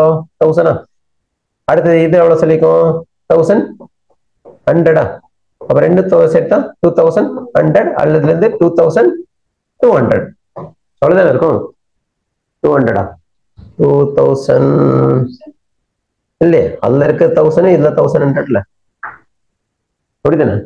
அப்போ பார்த்தீங்க அப்படின்னு சொன்னா உங்களுக்கு எவ்வளோ இருக்கும்? இதுலயே டூ ஹண்ட்ரட் இருக்கு. Thousand hundred thousand three hundred வரும். த்ரீ ஹண்ட்ரட் வரும். நெக்ஸ்ட் அடுத்து வைட்டல் கெப்பாசிட்டினா ஒரு மனுஷன் உயிரோட இருக்கணும்னா அப்போ அவன் எதை வச்சு கால்குலேட் பண்ணுனா இஆர்பி டிவி ஐஆர் மூணுமே சேர்த்து. சாதாரண உள்ள ஒரு முறை போகணும் வெளியே வர வரும். இதுல எக்ஸ்ட்ரா உள்ள இருக்கிற அளவு எக்ஸ்ட்ரா வெளியே இருக்கிற அளவு. புரியுதுங்களா உங்களுக்கு? ஏமா இது புரியுதாமா டிவின்றது யாரு? ஃபைவ் ஹண்ட்ரட் இஆர்வின்றது யாரு? தௌசண்டா ஐஆர்வின்றது டூ தௌசண்ட் ஃபைவ் ஹண்ட்ரட் புரியுதுங்களா? முதல் நாளும் தெரிஞ்சிச்சுன்னா இதை ஈஸியா கால்குலேட் பண்ணிக்கலாம். நெக்ஸ்ட் அடுத்து அஞ்சாவது. டோட்டல் லங் கெப்பாசிட்டி டிஎல்சின்ட்டு டோட்டல் லங் கெப்பாசிட்டி எல்லாத்தையும் சேர்த்துக்கணும் ஆர்வி இஆர்வி ஐஆர்வி டிவி எல்லாமே. டோட்டல் லங் கெப்பாசிட்டி மொத்த லங் கெப்பாசிட்டி அப்படியே எடுக்கலாம். இல்லைன்னா வைட்டல் கெப்பாசிட்டியும் ரெசிடியல் கெப்பாசிட்டி வைட்டல் கெப்பாசிட்டி இங்கே போட்டோம் பாருங்க. வைட்டல் கெப்பாசிட்டியில் ஏதோ விட்டுட்டோங்க. ஆர்வி விட்டுட்டோம். பாருங்க. இந்த ஆர்வி இல்லைங்க. இதோட ஆர்வியும் போட்டுக்கலாம். இல்லை நானும் சேர்த்து எழுதிக்கலாம் இதான் வைட்டல் கெப்பாசிட்டி வைட்டல் கெப்பாசிட்டி அப்படின்றது ஒரு உயிர் உயிரோட இருக்கும்போது அதில் என்னென்ன கெப்பாசிட்டிஸ் நார்மலா இருக்கும் உயிரனா ஹியூமன் ஸோ இது வந்து மிஸ் பண்ணாதீங்க. பார்த்துக்கோங்க. Next so respiratory volume and கெப்பாசிட்டிஸ்க்கும் இதுல டெட் ஸ்பேஸ் என்ன என்ன கொடுத்துருக்கோம் டெட் ஸ்பேஸ் அப்படின்னா நீங்க என்னதான் ஏர் உள்ள எடுத்து வெளியே போனாலும் கடைசியில கொஞ்சோண்டு ஏர் இந்த பைப்ல கொஞ்சோண்டு என்ன இருக்கும் இது தண்ணிட்டு இப்போ டேங்க்ல இருந்து தண்ணி வருது பைப்ல வருது. இப்ப கீழே இப்படியே பைப்ல போகுது. திருப்பத்தி மேலே ஏறி இப்ப இப்ப குறுக்க வருமா பைப்பு அங்கிருந்து தண்ணி வருது. திருப்பி இங்க இங்க வந்து பைப் வருது இப்ப இங்க பிடிச்சிக்கிறீங்க. இப்போ ஃபுல்லா டேங்க் ஃபுல்லா காலி ஆனாலும் கொஞ்சோண்டு தண்ணி இருந்துட்டே இருக்கும். எங்க சொல்லுங்க பார்க்கலாம். இந்த பைப் லெவல் எங்க ஊத்துதோ இதுக்கு கீழே இந்த பைப்லயும் இந்த பைப்லயும் உங்க வரைக்கும் இருந்துட்டே தானே இருக்கும். ஏ இருக்குமா இல்லையாப்பா அதனால அதுக்கு பேர் தான் டெட் ஸ்பேஸ் அல்லது டெட் ஏர் வால்யூம் எவ்வளோ அப்படின்றோம். ஒரு மனுஷன் டெத் ஆனா கூட உள்ள காத்திருக்குமா இருக்காதா? மூச்சுக்குள்ளாய்க்குள்ள ஏர் இருக்குமா இருக்காது? போயிருக்குள்ள ஸ்பேஸ் இருந்தாவே ஏர் ஃபைவ் ஃபில் ஆகிக்கலாம் தான் டெட் ஸ்பேஸ் அப்படின்றோம். ஸோ இந்த வாட் இஸ் டெட் ஸ்பேஸ் அப்படின்றத நீங்க பார்த்துக்கோங்க. ஓகே நெக்ஸ்ட் நெக்ஸ்ட் அடுத்து ரெஸ்பிரேட்டரி வால்யூம் தான் இங்க சொல்லி இருக்கக்கூடியது அதனால கால்குலேட் பண்ணுறோம் ஐஸ் என்ன இன்ஸ்பிரேட்டரி கேஸ் இஆர்வி ஆர்வி இது கொடுத்துருக்காங்க. ஓகே நெக்ஸ்ட் அடுத்து கேஸ் எக்ஸ்சேஞ்ச் என்ன என்ன? இப்போ கேஸ் எக்ஸ்சேஞ்ச் பார்க்கறதுக்கு முன்னாடி நம்ம ஏர் எங்க போகுது எங்க வருது அப்படின்றத கண்டிப்பா நம்ம பார்த்துடணும். ஸோ அதுக்குரிய டயக்ராம் நான் எங்க போடுறேன் பாருங்க. சிம்பிளா எங்க போடுறேன். இது லங்ஸ் இது லங்ஸ் ஓகே லங்ஸு மேல. இது. லங்ஸ்க்கு மேல பிளட் வெசல் இப்படி போகுது இப்படி போகுது இதுக்குள்ள பிளட் இப்படி போயிட்டோம் பிளட் பிளட் நேரம் எங்க போகும்னு நினைக்கிறீங்க? எங்க போகும் பிளட் ஹார்ட்டுக்குள்ள போ ஹார்ட்டுக்குள்ள இந்த போயிட்டு எங்க போகும் நெக்ஸ்ட் நேரம்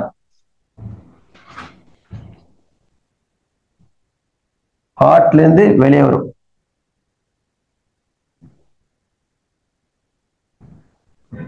ஒன் மினிட் இப்போ ஹார்ட்ல இருந்து எங்க வெளியே வரும் அப்படின்னு சொன்னீங்கன்னா அயோட்டா வெளியே வரும். அயோட்டனா மகாதமனி வெளியே வரும்.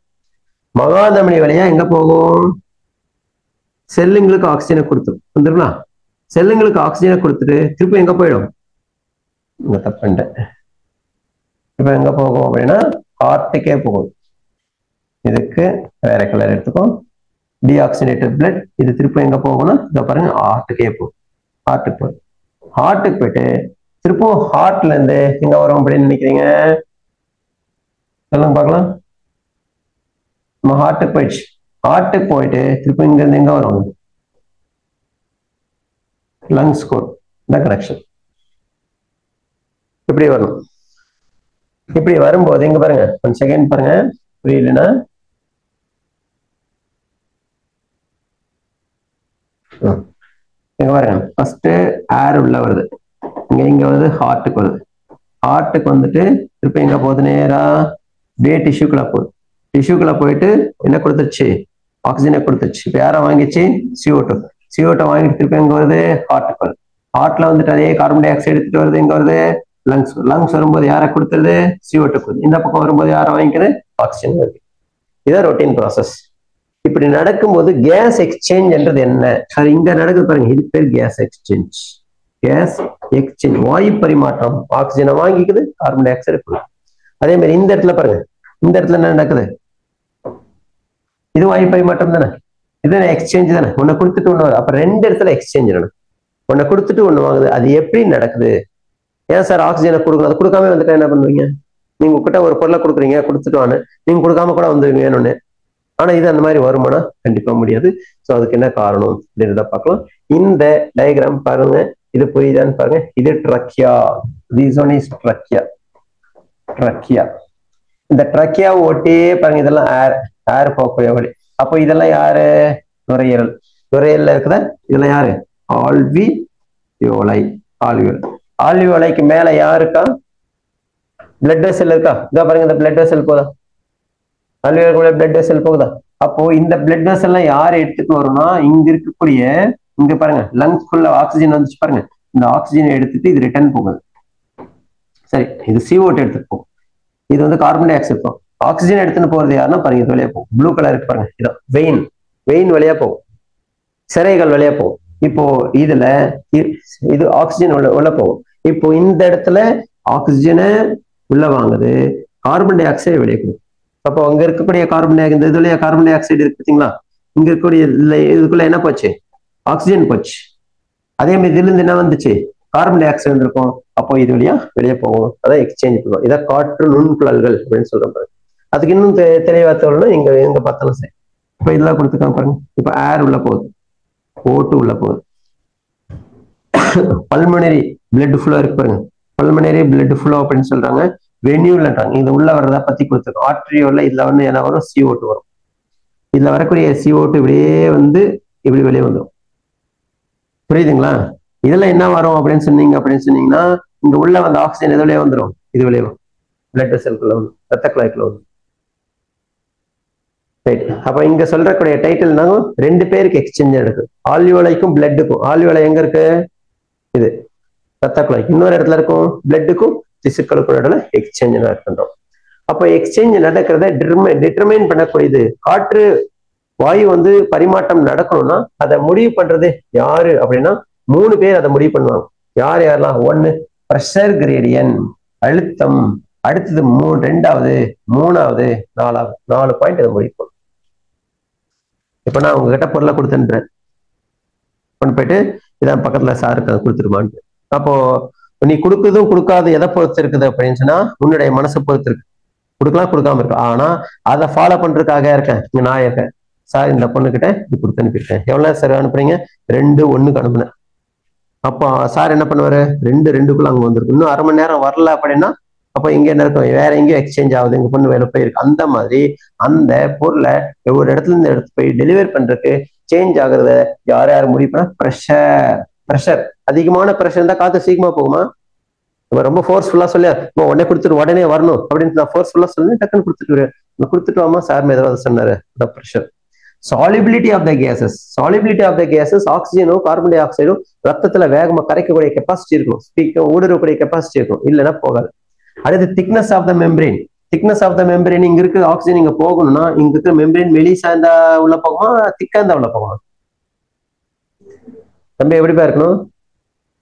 ஓ வெளியே அந்த சின்ன சேசி ஓடி இருக்கு நம்ம போட்டுக்கிற கிளாத் மெம்பரேன் இதான் ஆல்வியோலை மெம்பரேன் வச்சுக்கணும் இது ரொம்ப திக்கா இருந்தா அந்த சின்ன சார் உள்ள போகுமா? மெலிசா இருந்தா உள்ள போகுமா? மெலிசா. அப்ப மெலிசா இருக்கணும். அதான் திக்னஸ் ஆஃப் மெம்பரேன் மெலிசா இருக்கணும்னு சொல்றாங்க. சர்ஃபேஸ் ஏரியா நிறைய காத்து உள்ள போகணும்னா லங்குக்கு இவ்வளோண்டு இவ்வளோண்டு இருந்தா போதுமா? இல்ல இவ்வளோண்டு இடத்துல நிறைய இந்த மாதிரி பல்ஜா இருந்தா பரவாயில்லையா? இந்த மாதிரி இருந்தா தான் போகும். ஏன்னா ஏரியா அதுக்கெல்லாம். அகலம் அதிகமாகுது இல்ல அதனால இந்த நாலு ஃபேக்டர்ஸும் all these are the responsible for determining the exchange exchange படம்னா இது மூணுமே ரொம்ப இம்பார்ட்டன்ட் அதில் இங்க கொடுத்துருக்கீங்களே இது என்னன்னு பாருங்க. ஃபர்ஸ்ட் வந்து டைட்டில் அங்கே கொடுத்துங்க பாருங்க. பார்ஷியல் ப்ரெஷர் ஆர் கான்சென்ட்ரேஷன் கொடுத்துருங்க பாருங்க. அழுத்தம். நான் இந்த பொண்ணுக்கு இங்க அழுத்தம் கொடுத்துருந்தாலும் சீக்கிரம் போய் கொடுத்துட்டு வந்துச்சு. அப்போ பார்ஷியல் ப்ரெஷர்னா என்ன? அப்படின்னு தெரிஞ்சு ப்ரெஷர் அப்படின்னா என்னன்னு தெரிஞ்சுக்கணும். இந்த ப்ரெஷர் தெரிஞ்சுக்கிறதுக்கு முன்னாடி இங்க ஒரு லைன் கொடுத்துருக்கான் பாருங்க. வளிமண்டலத்துல ஆக்சிஜனுடைய அழுத்தம் எவ்வளவு இருக்கு? இப்ப பாருங்க இந்த இடத்துல ஆக்சிஜன் எவ்வளவு இருக்கு? நாள் நுரையீரலுக்குள்ள எவ்வளவு இருக்கு? அட்மாஸ்பியர்ல நூத்தி ஐம்பத்தொன்பது இருக்கான் நுரையீரலுக்குள்ள எவ்வளவு இருக்குன்றாங்க? எவ்வளவு இருக்குன்றாங்க? நூத்தி நாலு அப்போ ப்ரெஷர் இங்கிருந்து எங்க வரும்? இங்கதான் வரும். இங்கிருந்து இங்கதான் வரும். அடுத்தது இங்க ரத்தத்துக்குள்ள எவ்வளவு இருக்குது அப்படின்றாங்க? ஃபார்ட்டி அப்ப இங்க இருந்து எங்க வரும்? இங்க வரும். ரத்தத்துக்குள்ள ஆக்சிஜனேட்டட் இப்போ ரத்தத்துல இருந்து டிஷ்யூக்குள்ள போயிடுச்சுன்னா அடுத்தது ஆக்சிஜனேட்டட் பிளட்டா இருக்கும்போது என்ன இருக்கும்? அதிகமாகும். அதிகமாகும் போது அடுத்து இங்க வரைக்கும் போயிடும். அப்ப ரிட்டர்ன் வரும்போது என்ன வரும்? இங்க இங்க வருமா? அப்போ அழுத்தம் அதிகமான இடத்துல இருந்து அழுத்தம் குறைவான இடத்துக்கு போறதான் எப்பவுமே ஒரு காற்றாகட்டும் தண்ணீர் ஆகட்டும் இதுதான். இப்போ இங்க என்ன கொடுத்துருக்காங்க? வளிமண்டலத்துல இருக்கக்கூடிய காற்றினுடைய அழுத்தம் எவ்வளோ அப்படின்னு கேட்டாங்க நூத்தி ஐம்பத்தி ஒன்பதுன்னு எழுதுறீங்க சமவா தம்பியமா ஒன் ஃபிஃப்டி நைன் அப்படின்னு போட்டுறீங்க சரி. அந்த அது ஏன் அது பி ஓட்டுன்னு சொல்றாங்க? வெறும் ஓட்டுன்னு சொல்லாம. ப்ரெஷர் ஆஃப் ஆக்சிஜன் தான் அதுக்கு அர்த்தம். பி ஓட்டுன்னு ஏன் போடுறாங்க? பி ஓட்டுன்னு ஏன் போடுறாங்க அப்படின்னா அதுக்கு நான் சொல்றேன். பார்ஷியல் ப்ரெஷர் அப்படின்னு என்ன? இப்போ காற்றினுடைய அழுத்தம் எவ்வளோன்னு தெரியுமா? காற்றுக்கு அழுத்தம் உண்டு அப்படின்னு சொன்னாங்க. பிசிக்ஸ்ல கண்டுபிடிச்சிருக்காங்க. பைஸ் உங்களுக்கு ஏதாவது ஐடியா உண்டு இல்லை பார்ஷியல் ப்ரெஷர் காற்றுக்கு அழுத்தம் இருக்குதா இல்லையா? நம்ம சார் பலூன் அடிச்சு வச்சா வெளியே வருது. அழுத்தம் இருக்குதுன்னு தெரியும். ஆனா ஓப்பன் ஸ்பேஸ்லயே இருந்தா கூட அந்த காற்றுக்கு அழுத்தம் இருக்குதுன்னு கண்டுபிடிச்சாங்க. அப்ப அந்த காற்றினுடைய அழுத்தம் எவ்வளவு அப்படின்னா இது வந்து நான் வச்சிருக்கக்கூடிய ஒரு capillary tube this one is a capillary tube இது ஒரு கேப்லரி டியூப் இந்த capillary tube it is place in a mercury mercury containing பீக்கர்ல இதை வச்சிருக்கோம். நல்லா கவனிச்சுக்கோங்க. இது மெர்க்குரி இருக்கக்கூடிய ஒரு பீக்கர்ல வச்சிருக்கோம். மெர்க்குரி தெரியும் பாதரசம் வச்சிருக்கோம். ஓப்பன் ஸ்பேஸ் நீங்க கொண்டு போய் ரோட்ல வச்சுட்டு கொண்டாலும் சரி ரூம்ல வச்சாலும் சரி எங்க வச்சாலும் சரி இது இன்னும் கேப்லரி மீட்டர் இன்னும் வேலை போகணும்.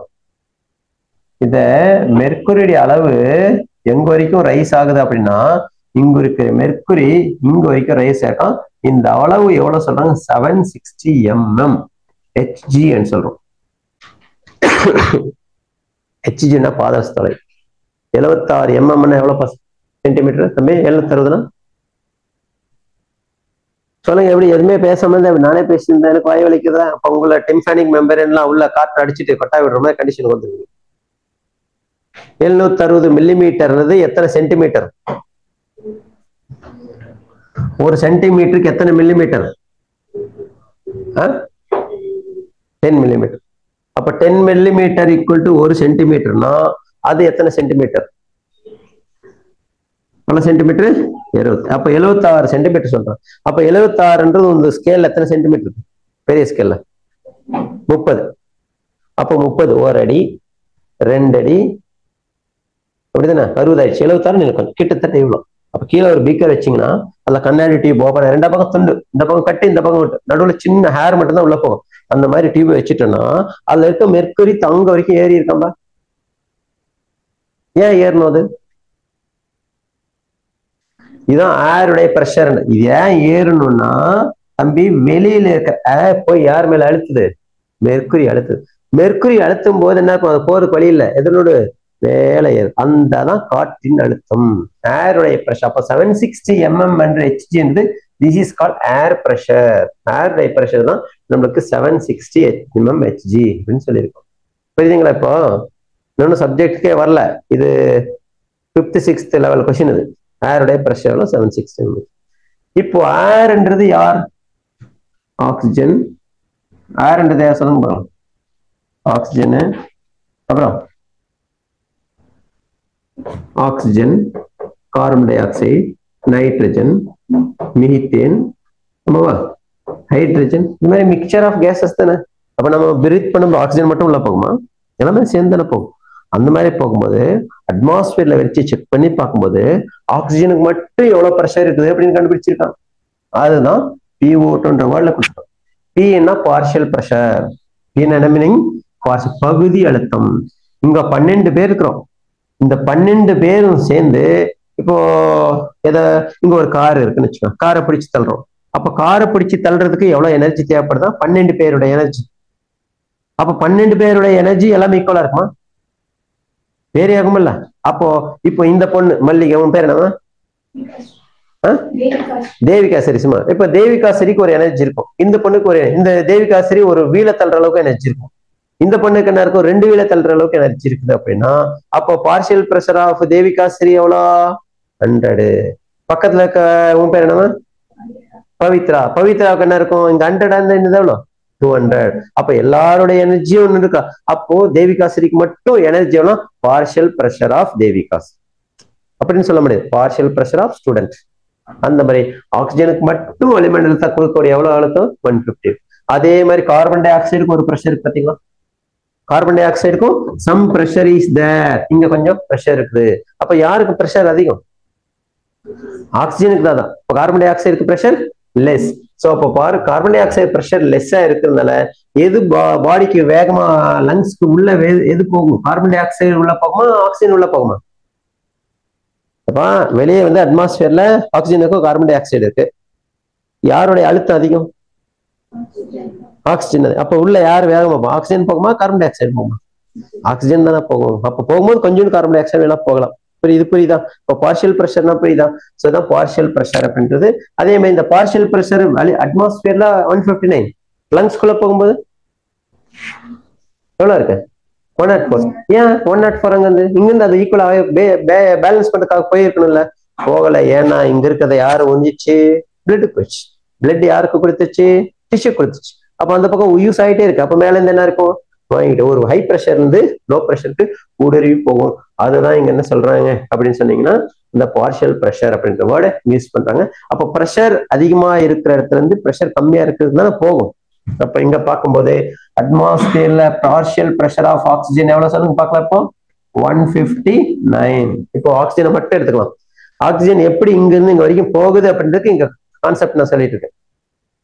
லங்ஸ்ல பிஓடி எவ்வளவு அப்படி கவனிப்பா ஒன் நாட் ஃபோர் அப்ப ஏர் எங்கேருந்து எங்கே எங்க போகும்? ஆக்சிஜன் எங்கேருந்து எங்கே எங்க போகும்? எப்பா இங்க ஒன் ஃபிஃப்டி நைன்பா இங்க ஒன் நாட் ஃபோர் ஆக்சிஜன் எங்க போகும்? அட்மாஸ்பியர்ல இருந்து போகும். போகுமா? அது இல்லாம லங்ஸ் வினிச்சுன்னா இன்னும் கொஞ்சம் வேகமா போகும். சரி இங்க ஓட்டு இவ்வளவு இருக்குன்றோம். நெக்ஸ்ட் இப்ப இங்க வந்த ஓட்டு தான் எங்க வரும்? பாருங்க இங்க ஆக்சிஜன் உள்ள வருதா? இங்க வந்து தானே அங்கேயும் வரும். அப்ப பி ஓட்டு இங்கே எவ்வளவுதான் ஒன் நாட் ஒன் நாட் ஃபோரா இன்னும் அதிகமா இருக்குமா நான் ஒண்ணுமே சொல்ல மாட்டேன்றீங்க. என்ன ஒண்ணுமே சொல்ல மாட்டேன்றீங்க. எப்பா இங்க ஒன் நாட் ஃபோர் இருக்குப்பா. இப்ப இங்க இருந்து டிஷ்யூல இது பாத்தீங்களா? டிஷ்யூல இருந்து வரக்கூடிய ஆக்சிஜன் எவ்வளவு கொடுத்துருக்காங்க சார் டிஷ்யூல இருந்து வரக்கூடிய ஆக்சிஜன் இங்க ரிட்டர்ன் வருது பாத்தீங்களா? இந்த ஆக்சிஜன் எவ்வளவு கொடுத்துட்டு? ஃபார்ட்டி அப்ப இங்க PO two equal to forty pressure இதே ஃபார்ட்டி தானே இங்க இருக்கும்? பிஓ டூ எவ்வளோ ஃபார்ட்டி அப்ப இங்க இருக்கும்போது இந்த ஆக்சிஜனுடைய ப்ரெஷர் எவ்வளவு இருக்கு? ஃபார்ட்டி இங்க இருக்கும்போது இங்க ஆக்சிஜன் எவ்வளவு ப்ரெஷர் இருக்கு? நூத்தி நாலு. அப்போ எங்க இருந்து எங்க வரும்? நாற்பதுல இருந்து நூத்தி நாலு போகுமா? நூத்தி நாலுல இருந்து நாற்பதுக்கு வருமா? நாற்பது. அப்ப இங்க வரும்போது நாற்பது. நாற்பத்தொன்னு நாற்பத்தி ரெண்டு நாற்பத்தி மூணு அப்படின்னு சொல்லிட்டு இந்த பக்கம் வரும்போது பிஓ டூ எவ்வளவு ஆயிடும்னு சொல்லியிருக்காங்க? நைன்டி ஃபைவ் ஆயிடும். எவ்வளவு ஆயிடும்? அந்த நைன்டி ஃபைவ் தானே இங்க இருந்து இங்க போயிட்டு இப்படி போயிட்டு இப்படி வந்தாலும் அதே நைன்டி ஃபைவ் தானே அவர் கொடுத்துருக்காங்க. சரி ஏன் சார் நைன்டி ஃபைவ் ஹண்ட்ரட்னு போடக்கூடாது? நீட்ல டோட்டல் மார்க் எவ்வளவு? டோட்டலா எல்லாத்தையும். நீட் எல்ஸ் மொத்த டோட்டல் உட்காரு பயப்படாத. ஏழு இருபது மார்க் சரியா? ஸோ இந்த பொண்ணை வந்து இருக்கும்? நல்லா திட்டினேன். நூறு மார்க் வாங்கிட்டு இருந்துச்சு திட்டின உடனே இரநூறு மார்க் வாங்கிச்சு அந்த பொண்ணு நாலு அடிச்சேன். முந்நூறு மார்க் வாங்கிச்சு அந்த பொண்ணு இன்னும் இருக்கும்? நாலு அடி அடி கொடுக்குறேன். அது ஐநூறு வாங்கிச்சு இந்த பொண்ணுக்கு இன்னும் எவ்வளவு அடி கொடுக்குமோ அவ்வளவு கொடுத்துட்டேன். எழுநூத்தி இருபதுக்கு எழுநூத்தி இருபது வாங்கிச்சு இனிமே இன்னும் ஒரு கோடி அடி கொடுத்தாலும் அந்த பொண்ணு வாங்கக்கூடிய மார்க் அவ்வளவுதான் வாங்கும். அதுக்கு மேல எவ்வளவு அடி கொடுத்தாலும் வாங்க. அந்த மாதிரி இங்க வரும்போது இங்க ஆர்பிசி இருக்கு பாத்தீங்களா? ஆர்பிசி ஆர்பிசிக்குல பார்ஷியல் ப்ரெஷர் ஃபார்ட்டி இருந்தா ஒரு ஆக்சிஜன் ஃபில் ஆச்சு. சரிங்களா? Twenty five percentage partial pressure ஐம்பது இருக்கும்போது ரெண்டு. பார்ஷியல் பிளஸ் எழுபது இருக்கும்போது மூணு. தொண்ணூத்தஞ்சு இருக்கும்போது நாலு. ஒரு ஆக்சிஜன் வந்து ஹீமோகுளோபின் எத்தனை மாலிக்கல் எடுத்துட்டு போகும் நாலு. இப்போ தொண்ணூத்தஞ்சு அடி கொடுக்கும் போதே அது என்ன ஆயிடுச்சு? கம்ப்ளீட்லி ஃபில்டு ஃபில் ஆயிடுச்சு. இனிமே நீங்க நூறு அடி கொடுத்தீங்கனாலும் எவ்வளவுதான் இருக்கும்? டோட்டல் பார்ஷியல் ப்ரெஷர் எப்படி தான் இருக்கும்? நைன்டி ஃபைவ் அதுக்கு மேலே எடுத்துட்டு போகிற கெப்பாசிட்டி நீங்க அடிச்சாலும் அவ்வளவுதான் சார் வாங்க முடியும். அதனால தான் இது கிடைச்சி ஹண்ட்ரட் ஆகல. அது கேட்பாங்க இடத்துல. ஒய் வந்து partial pressure of oxygen from the lungs வரும்போது நைன்டி ஃபைவ் தான் why it is not get convert hundred at பண்ணினா பார்ஷியல் ப்ரெஷர் நைன்டி ஃபைவ் இருக்கும்போது ஃபுல்லி சேச்சுரேட்டட் புரியுதுங்களா? அப்ப என்ன இருக்கு தேவையான அளவு ஆக்சிஜன் கிடைச்சிது நீங்க எவ்வளவு கொடுத்தாலும் எவ்வளவுதான். எல்லாம் வாங்குறது கிடையாது நிறைய காசு கொடுத்துனே இருக்கிறாங்க. ரூம் ஃபில் ஆயிடுச்சு. நீ கொடுத்தாலும் வைக்கிறதுக்கு இடம் இல்லைப்பாங்க. பக்கத்து ரூம்ல ஏக்காவது கொடு. அப்படிதான். ஸோ அங்கே நைன்டி ஃபைவ் வந்துச்சா? இப்போ இங்க எவ்வளவு வந்துச்சு ஓ டூ எப்ப இங்க உள்ளதானே வந்துட்டு இருக்கு? நைன்டி ஃபைவ் லங்ஸ் வந்து. அப்போ டிஷ்யூக்குள்ள ஏற்கனவே அது டிஷ்யூ இருக்குல்ல? செல்லுக்குள்ள ஆக்சிஜனேஷன் நடந்து இருக்குல்ல சார் அதுக்கு அவருடைய பார்ஷியல் ப்ரெஸ் எவ்வளவு இருக்குன்னு சொல்றாங்கன்னா? PO two equal to forty எவ்வளவு இருக்கு? அப்ப எங்க இருந்து எங்க வரும்? நைன்டி ஃபைவ்ல இருந்து தானே ஃபார்ட்டிக்கு தானே வரும்? அப்ப நைன்டி ஃபைவ்ல இருந்து ஃபார்ட்டி ஃபார்ட்டி ஃபார்ட்டி ஃபார்ட்டி உள்ள வந்துருச்சுன்னா என்ன ஆயிடும்? இது ஃபுல்லா இதுல இருக்கிறது குறைஞ்சிருமா? இது குறைஞ்சிச்சு பின்னாடி திருப்பி வெளியே போகும்போது பிஓட் என்ன ஆயிடும்? ஃபார்ட்டி எவ்வளவு கொடுத்துச்சு. அப்ப நைன்டி ஃபைவ்ல இருந்து ஒரு ஃபிஃப்டி ஃபைவ் கொடுத்து திரும்பி நீங்க எவ்வளவுதான் வரும்? ஃபார்ட்டி அப்ப இங்க வரும்போது ஃபார்ட்டி தானே? திருப்பி இங்க இருந்து இங்க வரும்போது ஃபார்ட்டி தானே? ஃபார்ட்டி என்ன பின்னாடி திருப்பி இங்க வரும்போது என்ன ஆயிடுது? இங்க வாங்குது. Forty one forty two forty three ninety five அப்போ இதுக்கு பேர் சேச்சுரேஷன் அப்படின்னு பேர். என்ன ரேஷன் சேச்சுரேஷன் ஆக்சிஜன் சேச்சுரேஷன் அப்படின்னு பேர். உங்களுக்கு தேவையான அளவுக்கு காசு கொடுத்தாச்சு. வேலை தான் வாங்கிட்டு இனிமே நான் ஒரு நாலு வீடு கட்டணும்னு நினைச்சு கட்டி கட்டி முடிச்சிங்க இனிமே எவ்வளவு காசு கொடுத்தாலும் இடம் வைக்கிறது கிடங்கு புரியுங்க அந்த பார்சியல் அப்ப எப்படி வச்சுக்கணும்னா நீங்க இங்கிருந்து தான் பார்க்கணும். இங்க இருந்து இங்கிருந்து இங்க இருந்து எடுக்கலாம் இங்க இருந்து எடுக்கலாம். இப்போ ஒன் பிப்டி நைன்லேருந்து இருந்து நூத்தி நாலுக்கு வருது. நூத்தி நாலுலேருந்து இருந்து நாற்பத்தொன்று இங்கே வரும்போது நைன்டி ஃபைவ் வேணா இங்க எழுதி வச்சுக்கலாம். ஏன்னா இந்த பக்கம் இருக்கிறதெல்லாம் அதே தான் ஆக்சிஜனை மட்டும் பார்த்துருக்கோம் அதே மாதிரி என்ன இருக்கும்? இங்க வரும்போது நான் தொண்ணூத்தஞ்சு இருக்கும்போது இங்க எப்படி வந்து நாற்பது ஆச்சுன்னா அந்த தொண்ணூத்தி அஞ்சுல ஒரு ஐம்பத்தஞ்சு இருக்கல ஐம்பத்தஞ்சு எங்க போயிடும்? டிஷ்யூக்குள்ள போயிடும். அப்ப நாற்பது. அப்ப திருப்பி நாற்பது எப்படி ஆச்சு? அதே நாற்பது இங்க வரும்போது புரோட்டீனா நடந்திருக்கு. இதுதான் partial pressure high partial pressure உயர்ந்த பகுதி அழுத்தத்திலிருந்து குறைந்தான பகுதி அழுத்தத்துக்கு தான் போகும். புரியுதுங்களா? ஓகே இது கிளியரா உங்களுக்கு ஆக்சிஜன் அப்படியே கார்பன் டை ஆக்சைடு பார்த்துடலாம். இப்ப பாருங்க. ஒன் பிப்டி நைன்ல இங்க போச்சு. அடுத்தது என்ன பார்த்தோம் அப்படின்னா டி ஆக்சைடு அதாவது இங்கிருந்து இங்க போகுதுன்னா இப்படி வந்துச்சு. இப்போ இங்கிருந்து இங்க வரைக்கும் வந்துச்சு. கடைசியில கார்பன் டை ஆக்சைடு சார் இருக்கும். யூஸ்வலி கார்பன் டை ஆக்சைடு எங்க அதிகமா இருக்கும்? டிஷ்யூஸ்ல அது அதிகமா இருக்கும். டிஷ்யூஸ்ல தான் இருக்கும். நம்ம காத்து உள்ள இருக்கும் போதே கார்பன் டை ஆக்சைடு உள்ள வரும்ன்றோம் வருதா? எவ்வளவு வருது? ஃபார்ட்டி ஆனா இங்க இருக்கக்கூடிய ஃபார்ட்டி இங்க எப்படி ஃபார்ட்டி ஃபைவ் ஆச்சு? இங்க எப்படி ஃபார்ட்டி ஃபைவ் ஆச்சு? அப்ப இங்க ஏதோ ஏதோ ஒரு அஞ்சு பாயிண்ட் இங்க வந்து வந்திருக்கு. நம்ம தானே? அப்ப இங்க எவ்வளவு இருந்திருக்கு? டிஷ்யூக்குள்ள ஃபார்ட்டி ஃபைவ் இருந்து. யாருக்குள்ள? டிஷ்யூக்குள்ள அததான் பாருங்க. டிஷ்யூஸுக்குள்ள இருந்த பிசிஓட்டு எவ்வளோ? ஃபார்ட்டி ஃபைவ் அப்போ பிளட்ல வரக்கூடிய ஆக்சிஜனுடைய பார்ஷியல் பிரஸ் எவ்வளோ? ஃபார்ட்டி அப்போ ஃபார்ட்டி வந்து இங்க அங்க அதிகம் இங்க கம்மி. அப்ப இங்க கார்பன் டை ஆக்சைடு இங்க வந்துச்சு. அதனால இந்த இங்க என்ன ஆயிடுச்சு? பிகம்ஸ் எப்ப? உள்ள வரும்போது ஃபார்ட்டிப்பா இந்த பக்கம் வெளியே வரும்போது என்ன ஆயிடுச்சு? ஃபார்ட்டி ஃபைவ் அப்போ இங்கேயும் PCO two equal to forty five அப்ப இங்க வந்தாலும் ஃபார்ட்டி ஃபைவ் அப்ப இங்க எவ்வளவு இருக்கு? PCO two PCO two forty five இங்க எவ்வளவு இருக்கு? லங்ஸ்குள்ள ஃபார்ட்டி உள்ள இழுக்கும்போது நாற்பது தான் இருக்கு. ஆனா இங்க நாற்பத்தஞ்சு. இப்ப என்ன ஆகும்? எங்க எங்க போகும்? இங்க இருந்து கார்பன் டை ஆக்சைடு வெளியே போகும். ஹை ப்ரெஷர்ல இருந்து லோ பிரஷர் போயிடும். அப்போ லங்ஸ்குள்ள ப்ரெஷர் எவ்வளவு இருக்குன்னு வச்சுக்கோங்க. நாற்பது இருக்குன்னு வச்சுக்கோங்க. லங்ஸ்க்கு வெளியே எவ்வளவு இருக்குன்னு பாக்கணுமா அட்மாஸ்பியர்ல அட்மாஸ்பியர்ல பிசிஓட் எவ்வளவு இருக்கு? Zero point three zero point three இங்க எவ்வளவு இருக்கு? நாற்பது. அப்ப எவ்வளவு வேகமா போகும் ரொம்ப ஓவரா இருக்கு. இங்க ரொம்ப கம்மியா. அப்போ மூமெண்ட் ஆஃப் ஏர் ஃப்ரம் லங்ஸ்ல இருந்து அவுட் சைடு போற கார்பன் டை ஆக்சைடு போற வேகம் அதிகம் தானே? ரொம்ப கம்மியா இருக்கு. அப்ப ரொம்ப கம்மியா இருக்கு. டக்குன்னு ஓடிடும்ல. அப்ப ஆக்சிஜன் உள்ள வர்ற வேகத்தை விட யாருடைய வேகம் அதிகம்? எப்படி சார் நீங்க சொல்றீங்க லிசன்? உள்ள வர்ற வேகத்தை விட கார்பன் டை ஆக்சைடோட வர வேகம்னா உள்ள எவ்வளவு இருக்கு? பிஓ டூ சரி இது இதுவும் இன்னொரு டாபிக் மட்டும் தான் உங்களுக்கு புரியாம இருக்கும். உள்ள வந்து ஹண்ட்ரட் இருக்கா? சாரி ஒன் நாட் ஃபோர் இருக்கு. இங்க எவ்வளவு இருக்கு? ஃபார்ட்டி ரெண்டுக்கும் டிஃபரன்ஸ் எவ்வளோ சிக்ஸ்டி ஃபோர் இப்போ இங்க ஆலிவலையில மேல எவ்வளவு இருக்கு? இங்க உள்ள பிசி ஓட்டு எவ்வளவு இருக்கு? ஃபார்ட்டி வெளியே எவ்வளோ இருக்கு? ஜீரோ பாயிண்ட் த்ரீ இப்போ டிஃபரன்ஸ் எவ்வளவு வருது? Around thirty nine point seven ஏன் த்ரீ பாயிண்ட் செவன் நாற்பதாவது ஜீரோ புள்ளி மூணு அப்போ இதனுடைய பர்சன்டேஜ் அதிகம். இதுக்கும் இதுக்கும் இருக்கிற வேகத்தை விட இது எத்தனை டைம்ஸ் இது நாற்பது டைம் முப்பத்தி ஏழு புள்ளி ஒன்பது வருது. ஆனா இது அறுபத்தி நாலு பர்சன்டேஜ் பாத்தீங்கன்னா எதுக்கு டிஃபரன்ஸ் அதிகம்? இதுக்கு தானே அதிகம். சார் இந்த நம்பர் இந்த நம்பர் கம்பேர் பண்ணாதீங்க. இதுல எத்தனை டைம் நாற்பதுன்றது நூத்தி நாலுல எத்தனை டைம் இருக்கு? ரெண்டு முறைன்னு வச்சுக்கோங்க. இல்ல மூணு முறை கூட வச்சுக்கோங்க. ஜீரோ புள்ளி மூணுன்றது நாற்பதுல எத்தனை முறை இருக்கு? பத்து முறை இருபது முறை முப்பது முறை. அப்போ அவங்க என்ன சொல்றாங்க? டுவெண்ட்டி டைம்ஸ் ஃபாஸ்டர் ஆக்சிஜன் உள்ள வர்ற வேகத்தை விட கார்பன் டை ஆக்சைடு வெளியே போற வேகம் எவ்வளவு அதிகம்ன்றாங்க? டுவெண்ட்டி டைம் ஃபாஸ்டா போகும். இதுவும் ஒரு நல்ல கான்செப்ட் இந்த நம்ம இதுல நீங்க வச்சுக்கணும். ஓகே இது புரியுதுங்களா? இதான் கேஸ் எக்ஸ்சேஞ்சர் ஃபர்ஸ்ட் பாயிண்ட் எது? ப்ரெஷர் பார்ஷியல் ப்ரெஷர் அல்லது கான்சன்ட்ரேஷன் நெக்ஸ்ட் அடுத்தது ரெண்டாவது பாயிண்ட் சாலிபிலிட்டி சாலிபிலிட்டி என்ன? சாலிபிலிட்டி என்ன சொல்றாங்க பாருங்க? ஆக்சிஜன் கரைய வேகம். இப்போ ஒரு சில மீன் தொட்டில எல்லாம் பாருங்க இத்தனோண்டு டப்பால ஒரு ஜெக் எடுத்துட்டு பக்கெட்ல ஒரு மீனை போட்டு வச்சீங்கன்னா ரெண்டு நாள்ல இறந்துருது. ஆனா கிணத்துல இறந்து போகிறதே இல்லை. ஏன் காரணம்? ஜக்குடைய மேல ஏரியா கம்மி. அப்ப காட்டு உள்ள போக பரவக்கூடிய ஏரியா கரையக்கூடிய இடம் கம்மி. காட்டு கம்மியா தானே குறையும். ஆனா கிணறுல அகலம் அகலம் ஆக்சிஜன் சரி அதான் இங்க சொல்லியிருக்கான் பாருங்க. இந்த இடத்துல பாருங்க பி டூ இங்க என்ன கொடுத்துருக்காங்க பாருங்க மேல இருக்கிறதெல்லாம் என்ன சொல்லியிருக்கான் ஆக்சிஜன் உள்ள வந்து பாருங்க எவ்வளவு கொடுத்துருக்கான் ஆக்சிஜன் தண்ணிக்குள்ள போகிற வேகம் எப்படி இருக்கு? இப்ப இங்கேயும் இதையும் பாருங்க மேல ஆக்சிஜன் இருக்கு கீழே என்ன கொடுத்துருக்காங்க? கார்பன் டை ஆக்சைடு இருக்கு. இப்போ எதுக்கு கரையக்கூடிய கெப்பாசிட்டி அதிகமா இருக்கு? ஆக்சிஜனுக்கா கார்பன் டை ஆக்சைடுக்கா தம்பி இங்க இருந்து இது காத்து. காத்துல இருந்து தண்ணி வர்றதுக்கு தண்ணிக்குள்ள ஆக்சிஜன் வர்றதுக்கு ஒன்னு ரெண்டு மூணு நாலு மாலிக்கல் தான் வருது. ஆனா இங்க கிட்டத்தட்ட எல்லாமே வந்துரு பாத்தீங்களா? அப்ப யாருக்கு கரையக்கூடிய வேகம் அதிகம்?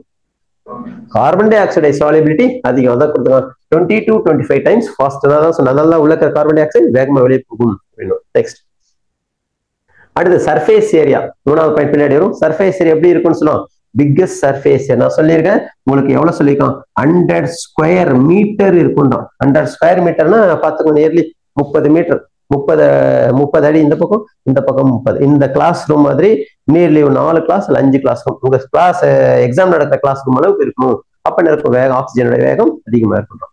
அடுத்தது நெக்ஸ்ட் தேர்ட் பாயிண்ட் முன்னாடி விட்டுட்டாது தேர்ட் பாயிண்ட் இது அடுத்தது இது திக்னஸ் ஆஃப் த மெம்பரேன் இது திக்னஸ் ஆஃப் த மெம்பரேன் மெம்பரேனுடைய திக்னஸ் இங்க பாருங்க. மெம்பரேன் இந்த டிஃபியூஷன் மெம்பரேன் கேட்பாங்க. ஊடுருவி போகும்னா மூணு மெம்பரேன் தாண்டி தான் போகும். இது பாருங்க இது ஆழிவலை. இது ஆலிவலைக்கு மேல இருக்கு பாருங்க இது ஆலிவலர் வால் கிரீன் கலர் இருக்கு. இந்த ஆலிவலருக்கு மேல இருக்கிறது பாருங்க இதுக்கு பேர் ஸ்பாமஸ் எபித்திலியம் பேர். பாருங்க இது ஸ்பாமஸ் எபி தட்டை எபித்திலியம் பேர். நல்லா கவனிச்சுக்கோங்க இது தட்டை எபித்திலியம் இதுக்கு அடுத்து இருக்கக்கூடியது இன்னொரு யாரு அப்படின்னு சொன்னா எண்டோத்திலியம் இது பாருங்க இது ரத்த குழாய்ப்பா நீங்க பாருங்க இந்த ரத்த குழாய் இப்படியே போகுது பாருங்க. இதோ பாருங்க. இது ரத்த குழாய் ரத்த குழாய்க்குள்ள ஆர்பிசி இருப்பாங்க அப்ப ரத்த குழாய்க்குள்ள மேல ஒரு செல் இருக்கு பாத்தீங்களா இந்த ரெட் கலர் செல் அதுதான் எண்டோத்திலியல் செல்ஸ் இந்த பக்கம் யாருக்கா நம்ம இந்த பக்கம் யாருக்கா ஆல்வியோலையோட எபித்திலியம் இருக்கு இதுக்கு என்ன எபித்திலியம் பேரு ஸ்குவாமஸ் எபித்திலியம் பேரு சார் முடிக்க சொன்னா முடிக்கிறேன் எடுக்க சொன்னா எடுக்க சரி சார் ஓகே சார் வாங்க சார் க்ளோஸ் பண்ணிட்டுமா இருக்கணும். இருக்குங்களா சரி சார். சரியா போயிட்டுங்களா? சார்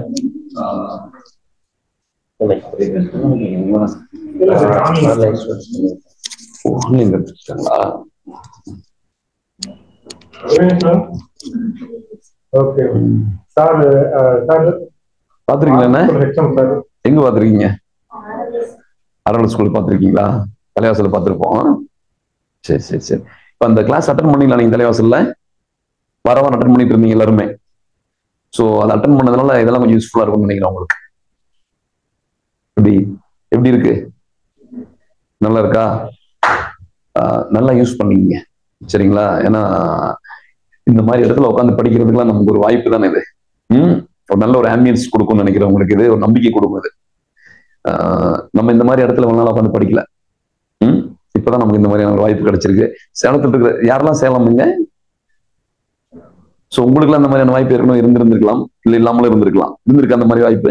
இந்த ஃபர்ஸ்ட் ஸோ சேலத்துல வந்து இந்த மாதிரி ஒரு ஏற்பாட்டை வந்து பண்ணி நமக்கு வந்து பண்ணியிருக்காங்க. ஃபர்ஸ்ட் நம்ம அவங்களுக்கு ஒரு தேங்க்ஸ் நம்ம சொல்லணும். ம்? அது மட்டும் இல்லாமல் பிரமாதமான ஸ்டாஃப்லாம் ஏற்பாடு பண்ணியிருக்காங்க. நான் பார்த்தேன். அப்படியே பண்ணிட்டு போது இப்போ வந்து இந்த சர்க்குலேஷன் போயிட்டு இருக்குதுன்னு நினைக்கிறேன். இதுதான் இருக்கிற ஈஸியான சாப்டரும் கூட இது. எல்லாத்துக்கும் பிடித்த சாப்டர் கூட இது. நிறைய கொஸ்டின்ஸ் இதுல வரும். ம், ஏன்னா பிளட் வந்து எங்க இருந்து ஆரம்பிச்சு எப்படி போய் எப்படி சுத்தி வருதுன்னு சொல்லி. வென்ட்ரிக்கல்ல லெஃப்ட் வென்ட்ரிக்கல்ல இருந்து எங்க போகும்? லெஃப்ட் வென்ட்ரிக்கல் எங்க போகும்? லெஃப்ட் வென்ட்ரிக்கல்ல இருந்து உடம்புக்கு ஃபுல்லா பிளட் போகும். உடம்பெல்லாம் ஃபுல்லா பிளட் போய் திரும்ப எங்க வரும்? ம்? மறுபடியும் எங்க வரும்? ரைட் ஆரிக்கலுக்கு வந்து மறுபடியும் ரைட் ஆரிக்கல்ல இருந்து எங்க போகும்? ரைட் வென்ட்ரிக்கில் போய் ரைட் வென்ட்ரிக்கில் இருந்து திரும்ப லங்ஸுக்கு போய் அங்க பியூரிஃபை ஆகி மறுபடியும் அங்கிருந்து எங்க வரும்? லெஃப்ட் ஆரிக்கலுக்கு வந்து லெஃப்ட் ஆரிக்கல் இருந்து மறுபடியும் லெஃப்ட் வென்ட்ரிக்கில் போய் திரும்பவும் போவோம் அதுக்கு பேர் தான் சர்க்குலேஷன் ஒரு ரவுண்டு போகுது இல்லையா? அதனாலதான் அந்த டாபிக் என்ன பேரு? சர்க்குலேஷன் ஸோ அதான் போயிட்டு இருந்துச்சு. ஆஹ் நல்லா பண்ணுங்க. நிறைய சான்ஸ் இருக்கு. எல்லாமே யாரெல்லாம் செவன் பாயிண்ட் ஃபைவ்ல வரீங்க சூப்பர் ஸோ செவன் பாயிண்ட் ஃபைவ்ல வரலைன்னா இன்னும் கொஞ்சம் எனர்ஜி போடணும். அவங்க கொஞ்சம் எனர்ஜி கம்மியா போட்டா கூட அவங்க வந்துருவாங்க வந்துட முடியும். சரிங்களா? ஆஹ் நம்பிக்கையோட படிங்க. ஐயோ நம்மள நிறைய பேர் ஸ்டேட்ல படிச்சுட்டு இருப்பாங்களே அவங்களெல்லாம் எப்படா நம்ம ஜெயிக்கிறது? அப்படின்னு நம்ம நினைக்க தேவையில்லை. கொஸ்டின்ஸ் வந்து இந்த புத்தகத்தை தாண்டி ஒரு கேள்வி கூட வராது. இப்ப நீங்க பன்னெண்டாம் வகுப்பு புத்தகம் படிச்சிருக்கீங்க இல்லையா? ஸ்டேட் போர்டு புத்தகம். இதை தாண்டி ஒரு கொஸ்டின் கூட வராது. அப்பவே சார் என்சிஆர்டி புக் படிக்கணும் அப்படின்னா என்சிஆர்டி புக்ல கட் ஷார்ட் பண்ணி கொடுத்துருக்காங்க எல்லாமே. இதை விட கம்மியா. படித்ததற்குள்ள இருந்து படிப்பது அது. இப்ப படிச்சிட்டீங்க இதுக்குள்ள இருந்து தான் அதை படிக்க போறீங்க. சோ அது ரொம்ப ஈஸி இதை படிச்சுட்டா அது இன்னும் ஈஸி சோ நல்லா அண்டர்ஸ்டாண்ட் பண்ணி படிச்சீங்கன்னா கண்டிப்பா நம்மளால வந்து அச்சீவ் பண்ண முடியும். அந்த நம்பிக்கையோட நீங்க படிங்க. உறுதியா நம்ம எல்லாமே டாக்டர் ஆயிடலாம்? வாழ்த்துக்கள். நல்லா பண்ணுங்க. தேங்க்யூ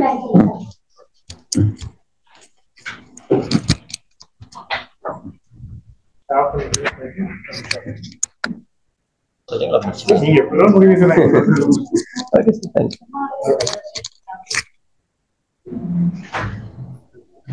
ரைட் லிசன் ஸோ இதில் வந்து இங்கே இருக்கிறது ஸ்காமஸ் எபிதிலியம் பார்த்துட்டோம்.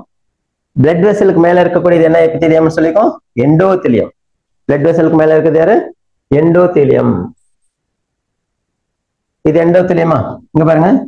இந்த பக்கம் இருக்கிறது ஃபுல்லாவே எண்டோத்திலியம் ஆஹ் இதுக்குள்ள இருக்கக்கூடியது என்னது?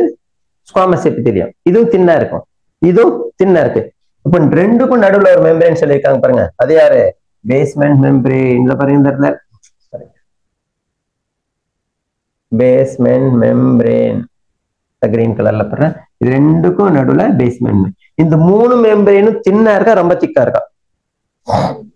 ரொம்ப தின்னு செல்லனாவே கண்ணுக்கு தெரியாது. ஒரே ஒரு லேயர்ல தான் இருக்கு. அதனால ஒரு முறை கேட்டிருக்காங்க. அதாவது ஆல்வியோலைக்கு மேல இருக்கக்கூடிய செல்லு எதனால் ஆனதுன்னு கேட்டிருக்காங்க எதனால் ஆனது பிளட் வெசலுக்கு மேல இருக்கிற செல் எதனால் ஆனது எண்டோத்திலியம் இது ரெண்டையும் கனெக்ட் பண்ணக்கூடிய மெம்பரேனுக்கு என்ன பேரு? பேஸ்மெண்ட் இது மூணுக்குமே பேர் என்ன பேரு? என்ன பேரு? ரெஸ்பிரேட்டரி மெம்பரேன் என்னது? ரெஸ்பிரேட்டரி மெம்பரேன் அல்லது டிஃப்யூஷன் மெம்பரேன் பேர். என்ன பேரு? டிஃப்யூஷன் மெம்பரேன் புரியுதுங்களா? புரியுதா? டிஃப்யூஷன் மெம்பரேன் சோ இதுதான் ஃபேக்டர்ஸ் அப்போ மெம்பரேன் எப்படி இருக்கணும்? திக்கா இருக்கணும். இப்போ இன்ஃபெக்ஷன் ஆயிடுச்சுன்னா சளி பிடிச்சிச்சுன்னா இதுக்குள்ள போய் யார் உட்காந்துக்குவா? சளி உட்காந்துக்கும். சளி உட்காந்துச்சுன்னா உள்ள இருக்கிற ஆக்சிஜன் பிளட்டுக்கு நேராக போக முடியுமா? எப்படி போக முடியுமா அப்ப? கண்டிப்பா முடியாது. ரொம்ப ஸ்லோ ஆயிடும். ஓகேவா சோ இது யார் யாரு டிட்டர்மைன் பண்ற? ஃபர்ஸ்ட் பாயிண்ட் என்ன பார்த்தோம்? ஃபர்ஸ்ட் பாயிண்ட் என்ன பார்த்தோம்? ப்ரெஷர் ரெண்டாவது பாயிண்ட் என்ன பார்த்தோம்? சாலிபிலிட்டி மூணாவது பாயிண்ட் ஏரியா ஏரியா பெருசா இருக்கணும். திக்னஸ் ஆஃப் த மெம்பரின் கம்மி. இந்த நாலு ஃபேக்டர் தான் இதை ரெஸ்பிரேஷன் இது பண்ணுதுன்னா இந்த டயக்ராம் உங்களுக்கு தெரியும். ப்ரீவியஸ் இயர் கொஸ்டின் பார்த்தேன். இந்த டயக்ராம் அப்படியே கேட்டுட்டு அப்படியே ஏபிசிடி போட்டு கேட்டிருந்தோம் இது வந்து ரெண்டாயிரத்தி பதினொன்னுல நாங்க ஆல் இண்டியா என்ட்ரன்ஸ் இருக்கும்போது இந்த டயக்ராமை நான் தான் போட்டு கொடுத்தேன். முன்னாடி டெஸ்ட்டுக்கு முன்னாடி போட்டு கொஷின் கொடுக்குறோம். அந்த டெஸ்ட்ல இந்த டயக்ராமோட வந்துச்சு. இப்போ ஸோ அரௌண்டு ஒரு செவன்டீன் எயிட்டீன் இயர்ஸாக இது மாத்தமாக தான் இருக்கு. என்சிஆர்டி புக்கை பொறுத்தரையும் ஸோ இந்த டேட்டா ஃபுல்லா ஞாபகம் வச்சுங்க இதெல்லாம் புக்கில் இருக்கு உங்களுக்கு. ஓகே நெக்ஸ்ட் அடுத்தது. டிரான்ஸ்போர்ட் ஆஃப் கேசஸ் இந்த இடம் தான் பிக்கெஸ்ட் மிஸ்டேக் பிக்கெஸ்ட் கன்ஃபியூஷன் வரும் உங்களுக்கு. டிரான்ஸ்போர்ட் ஆஃப் கேசஸ்னா எங்க போகுது? லங்ஸ்ல இருந்து எங்க போகுது அப்படின்னு சொன்னீங்கன்னா டிஷ்யூக்குள்ள போகுது. டிஷ்யூல இருந்து என்ன போகுது லங்ஸ் போகுது. அப்படி போகும்போது எப்படி போகுது அப்படின்னா இங்க கொடுத்து பாருங்க. லங்ஸ் ஆலி வேலையா? ஆலி வேலை பிளட்டா இப்படிதானே பிளட்ல இருந்து எங்க போதும்? டிஷ்யூ டிஷ்யூல இருக்கிற கார்பன் டை ஆக்சைடு எங்க வரும்? பிளட் பிளட்ல இருந்து எங்க வரும்? லங்ஸ் லங்ஸ் வந்து கோயிங் ஆகும் இது எப்படி போகுது அப்படின்றத பார்த்துக்கணும். மொத்தம் வந்து என்ன இருக்கும்? கேசஸ் டிரான்ஸ்போர்ட் ஆகும்போது டோட்டல்ல என்னென்ன கேசஸ் இருக்குன்னா number one oxygen transport carbon dioxide transport oxygen transport ஆகுது கார்பன் டை ஆக்சைடும் டிரான்ஸ்போர்ட் ஆகுது. ஸோ ஆக்சிஜன் எப்படி போகுது? கார்பன் டை ஆக்சைடு எப்படி போகுது? என்னென்ன வழியில போகுது? அப்படின்றத நீங்க தெரிஞ்சுக்கணும். இது நம்ம ஸ்டேட் போர்டு புக்ல தனியா கொடுத்துருப்பாங்க. ஆக்சிஜன் வந்து பாத்தீங்கன்னா பிளட் இப்படி இருக்குதுன்னா இதெல்லாம் ஆர்பிசி இது ஆர்பிசி இருக்கு பாத்தீங்களா? இது ஆர்பிசி ஒரு சிலது பிளாஸ்மாலே போகும். பிளாஸ்மா இருக்கு பாத்தீங்களா? இதுக்குள்ளே ஊடுருவி போகும் அப்படின்னு சொல்றான். ஹீமோகுளோபினா போறது ஆர்பிசிக்குள்ள போகும் ரெண்டு பாயிண்ட் ரெண்டே ரெண்டு வரி. தம்பி பிளட் இருக்குப்பா. பிளட்டுக்குள்ள அந்த பிளாஸ்மா லிக்விட் பார்த்தீங்க லிக்விடுக்குள்ள கரைஞ்சியும் போகலாம் ஆர்பிசியும் எடுத்துன்னு போகும் அப்படின்றோம் இது. இதுல வந்து பாத்தீங்கன்னா கார்பானிக் ஆசிடா போகும் கார்பமினா ஹீமோகுளோபினாவும் கார்பை கார்பனேட்டா போகும் அப்படின்றோம் இது என்னென்ன வழியில போகுதுன்ற நாலுக்கும் அஞ்சுக்குமே எக்ஸ்பிளனேஷன் கொடுக்குறோம் பாருங்க. ஃபர்ஸ்ட் ஆர்பிசி எப்படி போகுது? டிரான்ஸ்போர்ட் ஆகுது அப்படின்னா த்ரீ பர்சன்டேஜ் ஆஃப் ஆக்சிஜன் இங்க பாருங்க. த்ரீ பர்சன்டேஜ் மொத்தம் ஹண்ட்ரட் பர்சன்ட் டோட்டலா ஹண்ட்ரட் பர்சன்டேஜ் இருக்குதுன்னா பிளட் அந்த hundred பர்சன்டேஜ்ல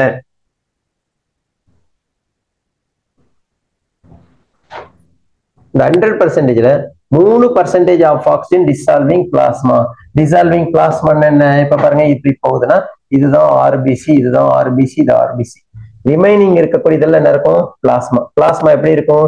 Usually yellow colour yellow colour லிக்விடா பாருங்க இந்த லிக்விட் எல்லோ கலர் லிக்யூடுக்குள்ள போகக்கூடிய ஆக்சிஜனுடைய அளவு எவ்வளவு அப்படின்னா த்ரீ பர்சன்டேஜ் எல்லோ கலர் லிக்யூடுக்குள்ள போகக்கூடிய ஆக்சிஜன் அளவு ஒன்லி த்ரீ பர்சன்டேஜ் புரியுது அது உங்களுக்கு? அடுத்து ninety seven percentage of oxygen எது வழியாக தான் போகுதுன்றான்? ஆர்பிசிக்குள்ள போகுது. இது பாயிண்ட் புரியுதா? இது ரத்த குழாய்க்குள்ள மூணு பர்சன்டேஜ் கரைஞ்சே போயிடும். மிச்சம் இருக்கிறதெல்லாம் என்ன இருக்கும்? உப்பு இருக்கு. உப்பு வந்து என்ன இருக்கும் அப்படின்னா மூணு பர்சன்டேஜ் கொஞ்சோண்டு தான் தண்ணிக்குள்ள இருக்கு. மிச்சம் இருக்கிறதெல்லாம் காய்கறி காய்கறி ஆர்பிசிக்குள்ள இருக்கிறதுக்கு போகுது அப்படின்னா. இது ஒரு வழி. அதான் இங்க கொடுத்துக்காம பாருங்க. உள்ள இருக்கிறது மாலைக்கு ஆர்பிசி ஆர்பிசிக்குள்ள இருக்கிறதெல்லாம் யாரு? ஹீமோகுளோபின் இது ஹீமோகுளோபின் இந்த ஹீமோகுளோபின் ஆக்சிஜன் போயிடுச்சு அப்படின்னா ப்ளூவா மாறி இதுக்கு பேர் ஆக்சி ஹீமோகுளோபின் பேர். இது பேரு ஆக்சி ஹீமோகுளோபின் வெளியே போயிடுச்சுன்னா திருப்பி என்ன இருக்கும்? ஆக்சிஜன் வெளியே போயிடுச்சு. வெளியே இருக்க ஆக்சிஜன் உள்ள வரும்போது கலர் மாறுது. திரும்ப வெளியே போகுது. அப்போ லங்ஸ்குள்ள இருக்கும்போது வாங்கிக்கும். பிளட்ல போகும்போது இப்படியே எடுத்து போகும். டிஷ்யூக்குள்ள போகும்போது பிளாங்க் ஆயிடும் இப்போ இந்த மாதிரி எவ்வளவு பர்சன்டேஜ் போகுதுன்னு சொல்லிக்கோ? நைன்டி செவன் பர்சன்டேஜ் அப்போ ஹீமோகுளோபினுடைய ஸ்ட்ரக்சர் என்ன? இந்த ஒரு ஹீமோகுளோபின் எடுத்து எத்தனை செயின் கொடுத்துருக்கா? ஒன்னு ரெண்டு மூணு நாலு பாலிபெப்டைட் ஒரு ஒரு பாலிபெப்டைட் செயின் எவ்வளவு ஆக்சிஜன் மாலிகுலர் எடுத்து போகும் சொல்றான்? நாலு ஆக்சிஜன் மாலிகுலர் எடுத்துட்டு போகும் அப்படின்னு சொல்லலாம் இது புரியுதுங்களா உங்களுக்கு? கார்பன் டை ஆக்சைடு ஒண்ணு இல்லை டைரக்ட் ஈஸியா புரிஞ்சிடும் இது பாருங்க. ஆக்சிஜன் ஹீமோகுளோபின் யாரோட சேருது? ஆக்சிஜனோட சேருது. ஆக்சிஜன் ஹீமோகுளோபின் சேர்ந்தா இதுக்கு என்ன பேரு? ஆக்சி ஹீமோகுளோபின் பேர். எத்தனை பேரு? ஆக்சி ஹீமோகுளோபின் இது வெறும் ஹீமோகுளோபின் இது ஆக்சி ஹீமோகுளோபின் புரியுதுங்களா? ஓகே நெக்ஸ்ட் அடுத்தது டிரான்ஸ்போர்ட் ஆஃப் கேசஸ் இல்ல ஆக்சி ஹீமோகுளோபின் எப்படி போகுது? அதேதான். இதுல யார் யாரெல்லாம் இருக்கணும் அப்படின்னு சொல்லிக்கணும். ஆக்சிஜன் டிரான்ஸ்போர்ட் ஆகணும் அப்படின்னா மூணு பாயிண்ட் அங்க சொன்ன நாலு பாயிண்ட் பார்ஷியல் ப்ரெஷர் எப்படி இருக்கணும்? அதிகமா இருக்கணும். அப்படிதான் அட்மாஸ்பியர் லெவலில் இருக்கு. நூத்தி ஐம்பத்தி ஒன்பது எவ்வளவு பார்த்தல அப்படி இருக்கணும். அதே மாதிரி சிஓ டூ அட்மாஸ்பியர்ல எப்படி இருக்கணும்? அப்பா அட்மாஸ்பியர்ல பிஓட் எவ்வளவு ஒன் பிப்டி நைனா பிசிஓட் எவ்வளவு இருந்துச்சு? அப்ப கம்மியா இருக்கணும். பிசிஓ டூ கம்மியா இருக்கணும். அடுத்தது இது புரியுங்களா டிஷ்யூஸ்ல பிஓட் எப்படி இருக்கணும்? பிஓட் டிஷ்யூல எவ்வளவு இருந்துச்சு? நான் ஏன்னா இங்க நூத்தி ஐம்பத்தி அங்கிருந்து இங்க வரும். அதே மாதிரி பிசி ஓட்டு இங்க இருக்கக்கூடிய ஆக்சிஜன் அங்க போன இங்க எவ்வளவு இருக்கும்? ஃபார்ட்டி சிக்ஸ் அப்ப இங்க இருந்து இங்க போகும். கரெக்ட் அது? சோ இந்த மாதிரி போகணும் அப்படின்றதுக்காக கொடுத்துருக்கக்கூடிய விஷயம். நெக்ஸ்ட் அடுத்தது. இது மாதிரி ட்ரா பண்ணும்போது பார்ஷியல் ப்ரெஷர் இருபது ஒரு நிமிஷம். இருபது நாற்பது அறுபது எண்பது நூறு. நம்மளுக்கு எவ்வளவு பார்ஷியல் ப்ரெஷர் இருந்தாவே போதும்? தொண்ணூத்தி ஏழு இருந்தாவே போதும் சொன்ன பாத்தீங்களா? தொண்ணூத்தி ஏழு பார்ஷியல் ப்ரெஷர் போது டாப் போயிடுச்சு. எவ்வளவு பர்சன்டேஜ் சேச்சுரேஷன் ஆயிடுச்சு? அப்போ பார்ஷியல் ப்ரெஷர் இருபது இருக்கும்போது இவ்வளவு பர்சன்டேஜ் ஆஃப் ஆக்சிஜன் நாற்பது இருக்கும்போது இவ்வளோ அவ்வளோ அதிகமாயிட்டே இருக்கு நூறுக்கு ஆயிடுச்சுன்னா அதுக்கப்புறம் பாருங்க என்ன ஆகுது கிடையாது. பர்சன்டேஜ் அவ்வளவுதான் நூறு பர்சன்ட் ரீச் ஆயிடுச்சுன்னா அதுக்கப்புறம் என்ன இருக்கும்? இப்படியே கோடு நேராவே போயிட்டே இருக்கும். அப்படின்னா அப்போ பார்ஷியல் ப்ரெஷர் இன்க்ரீஸ் ஆக இன்க்ரீஸ் ஆக சேச்சுரேஷன் ஆக்சிஜன் போய் பைண்ட் ஆகிற வேகமும் அதிகமாகும். ஆனா ஒரு குறிப்பிட்ட ப்ரெஷருக்கு மேல அது என்ன ஆகுறது இல்ல ஃபுல் சேச்சுரேஷன் ஆயிடுச்சுன்னா போயிடும். அதனால இந்த ஆக்சிஜன் வந்து அசோசியேஷன் டிசோசியேஷன் ஆக்சிஜன் சேரக்கூடியது இணைதல் மற்றும் பிணைதல்.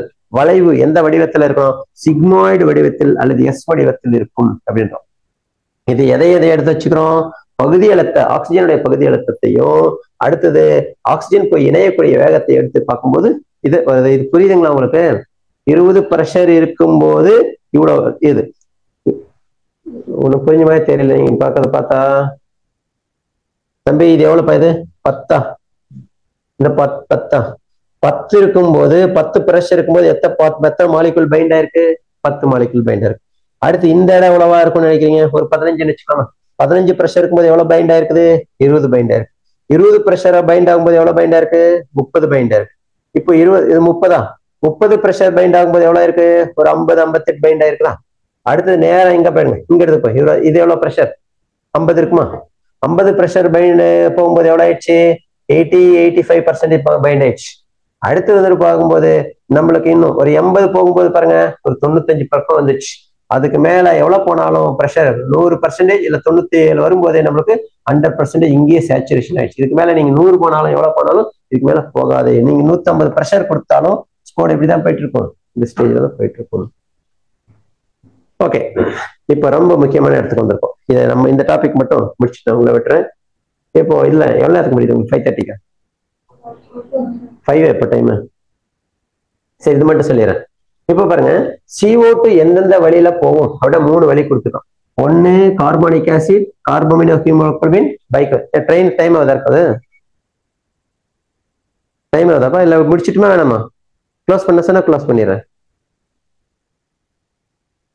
நடத்துட்டுமா நடத்துட்டுமா எங்க மெஜாரிட்டி கை பக்கம் யார் யார் நடத்தலாம்னு நினைக்கிறீங்க? இல்ல நிறைய பேர் நடத்துறேன்னு சொல்லி நான் முடிச்சிடுறேன். பாய்ஸ் மட்டும் கொஞ்சம் வேணான்றாங்க போல இருக்கு. இது மட்டும் எனக்கு ஒரு டூ ஒரு ஃபைவ் மினிட்ஸ் முடிச்சிடறேன். இதுல பாருங்க. அங்க எப்படி மூணு பிளாஸ்மால போகும் ஆர்பிசி எடுத்துட்டு போகணும்னா இந்த மூணு வழியில போகணும். கார்பானிக் ஆசிடா போகும் கார்பமினா ஹிமோக்ளோபினோ பைகார்பனேட்டா போகும். இந்த மூணுல ரெண்டு ஈஸி ஃபர்ஸ்ட் வந்து கார்பானிக் ஆசிட் என்னன்னு பார்த்துக்கோங்க கார்பன் டை ஆக்சைடு இப்ப ரத்த குழாய்க்குள்ள போகுதுங்க பாருங்க. சார்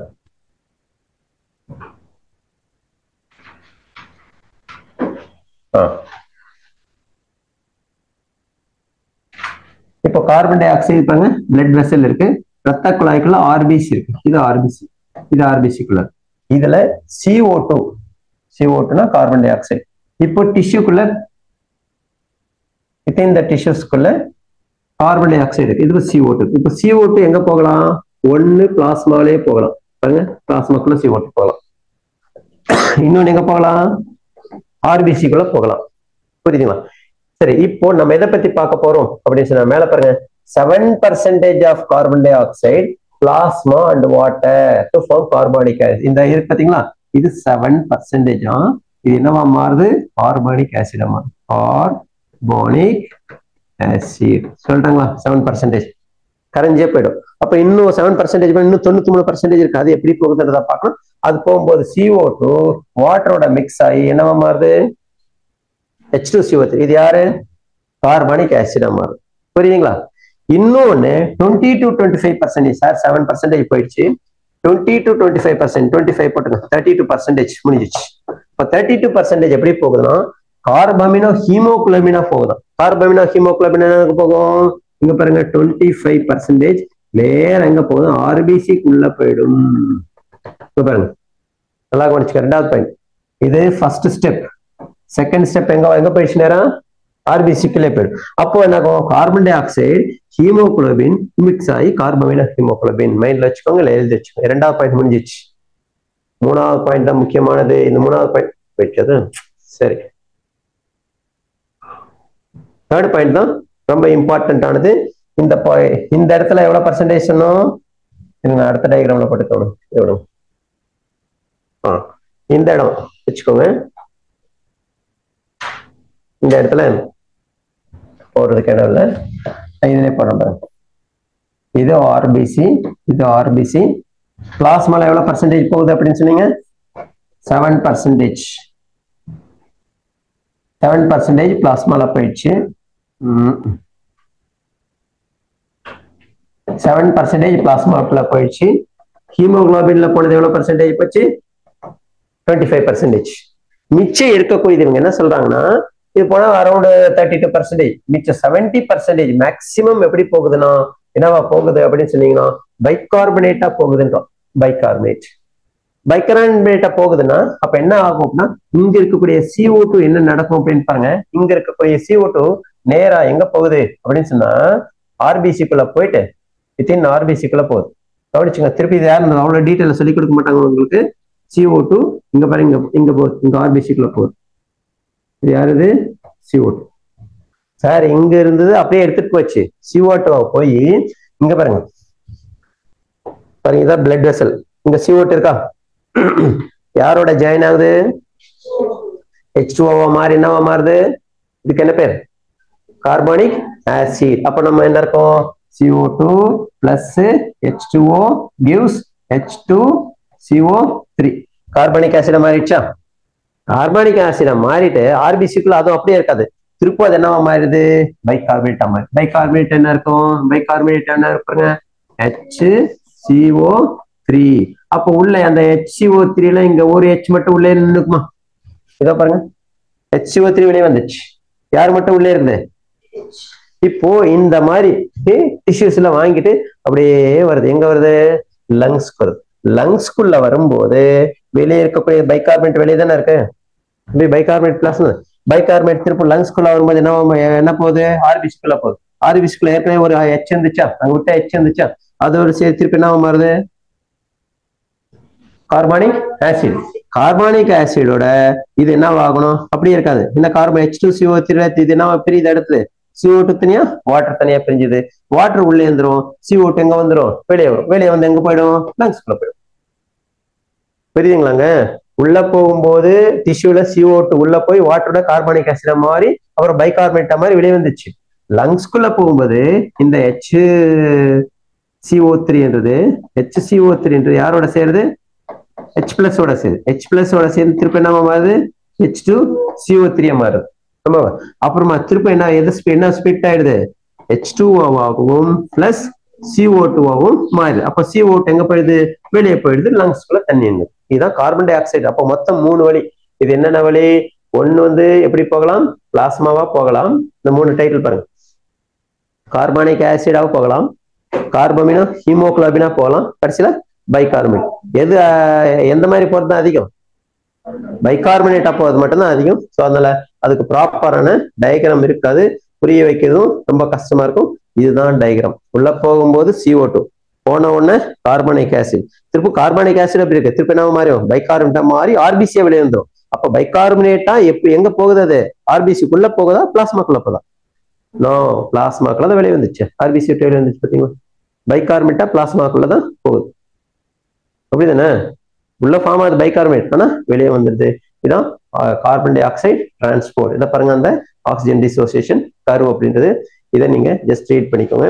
அடுத்தது ரெஸ் ரெகுலேஷன் ஆஃப் ரெஸ்பிரேஷன் ரெஸ்பிரேஷனை கண்ட்ரோல் பண்ற பார்ட் என்ன பார்ட் பிரெயின்ல ஒரு மூணு பார்ட் கொடுத்துருக்காங்க. அதுல நியூமோடாக்சிக் சென்டர் எக்ஸ்பிரேட்டரி சென்டர் கொடுத்துருக்காங்க. அது வந்து ஜஸ்ட் ஒரு கிளான்ஸ் பார்த்தா உங்களுக்கு தெரியும். நான் இது வந்து நெக்ஸ்ட் கிளாஸ் வரும்போது நீங்க டச் பண்ணிட்டு நான் பார்த்துக்கோங்க டிஸார்டர்ஸ் இதுல இருந்து பார்ப்போம் இதுல இருந்து ரெகுலேஷன் ஆஃப் ரெஸ்பிரேஷன் பார்ப்போம் ஓகேவா ஓகே தேங்க்யூ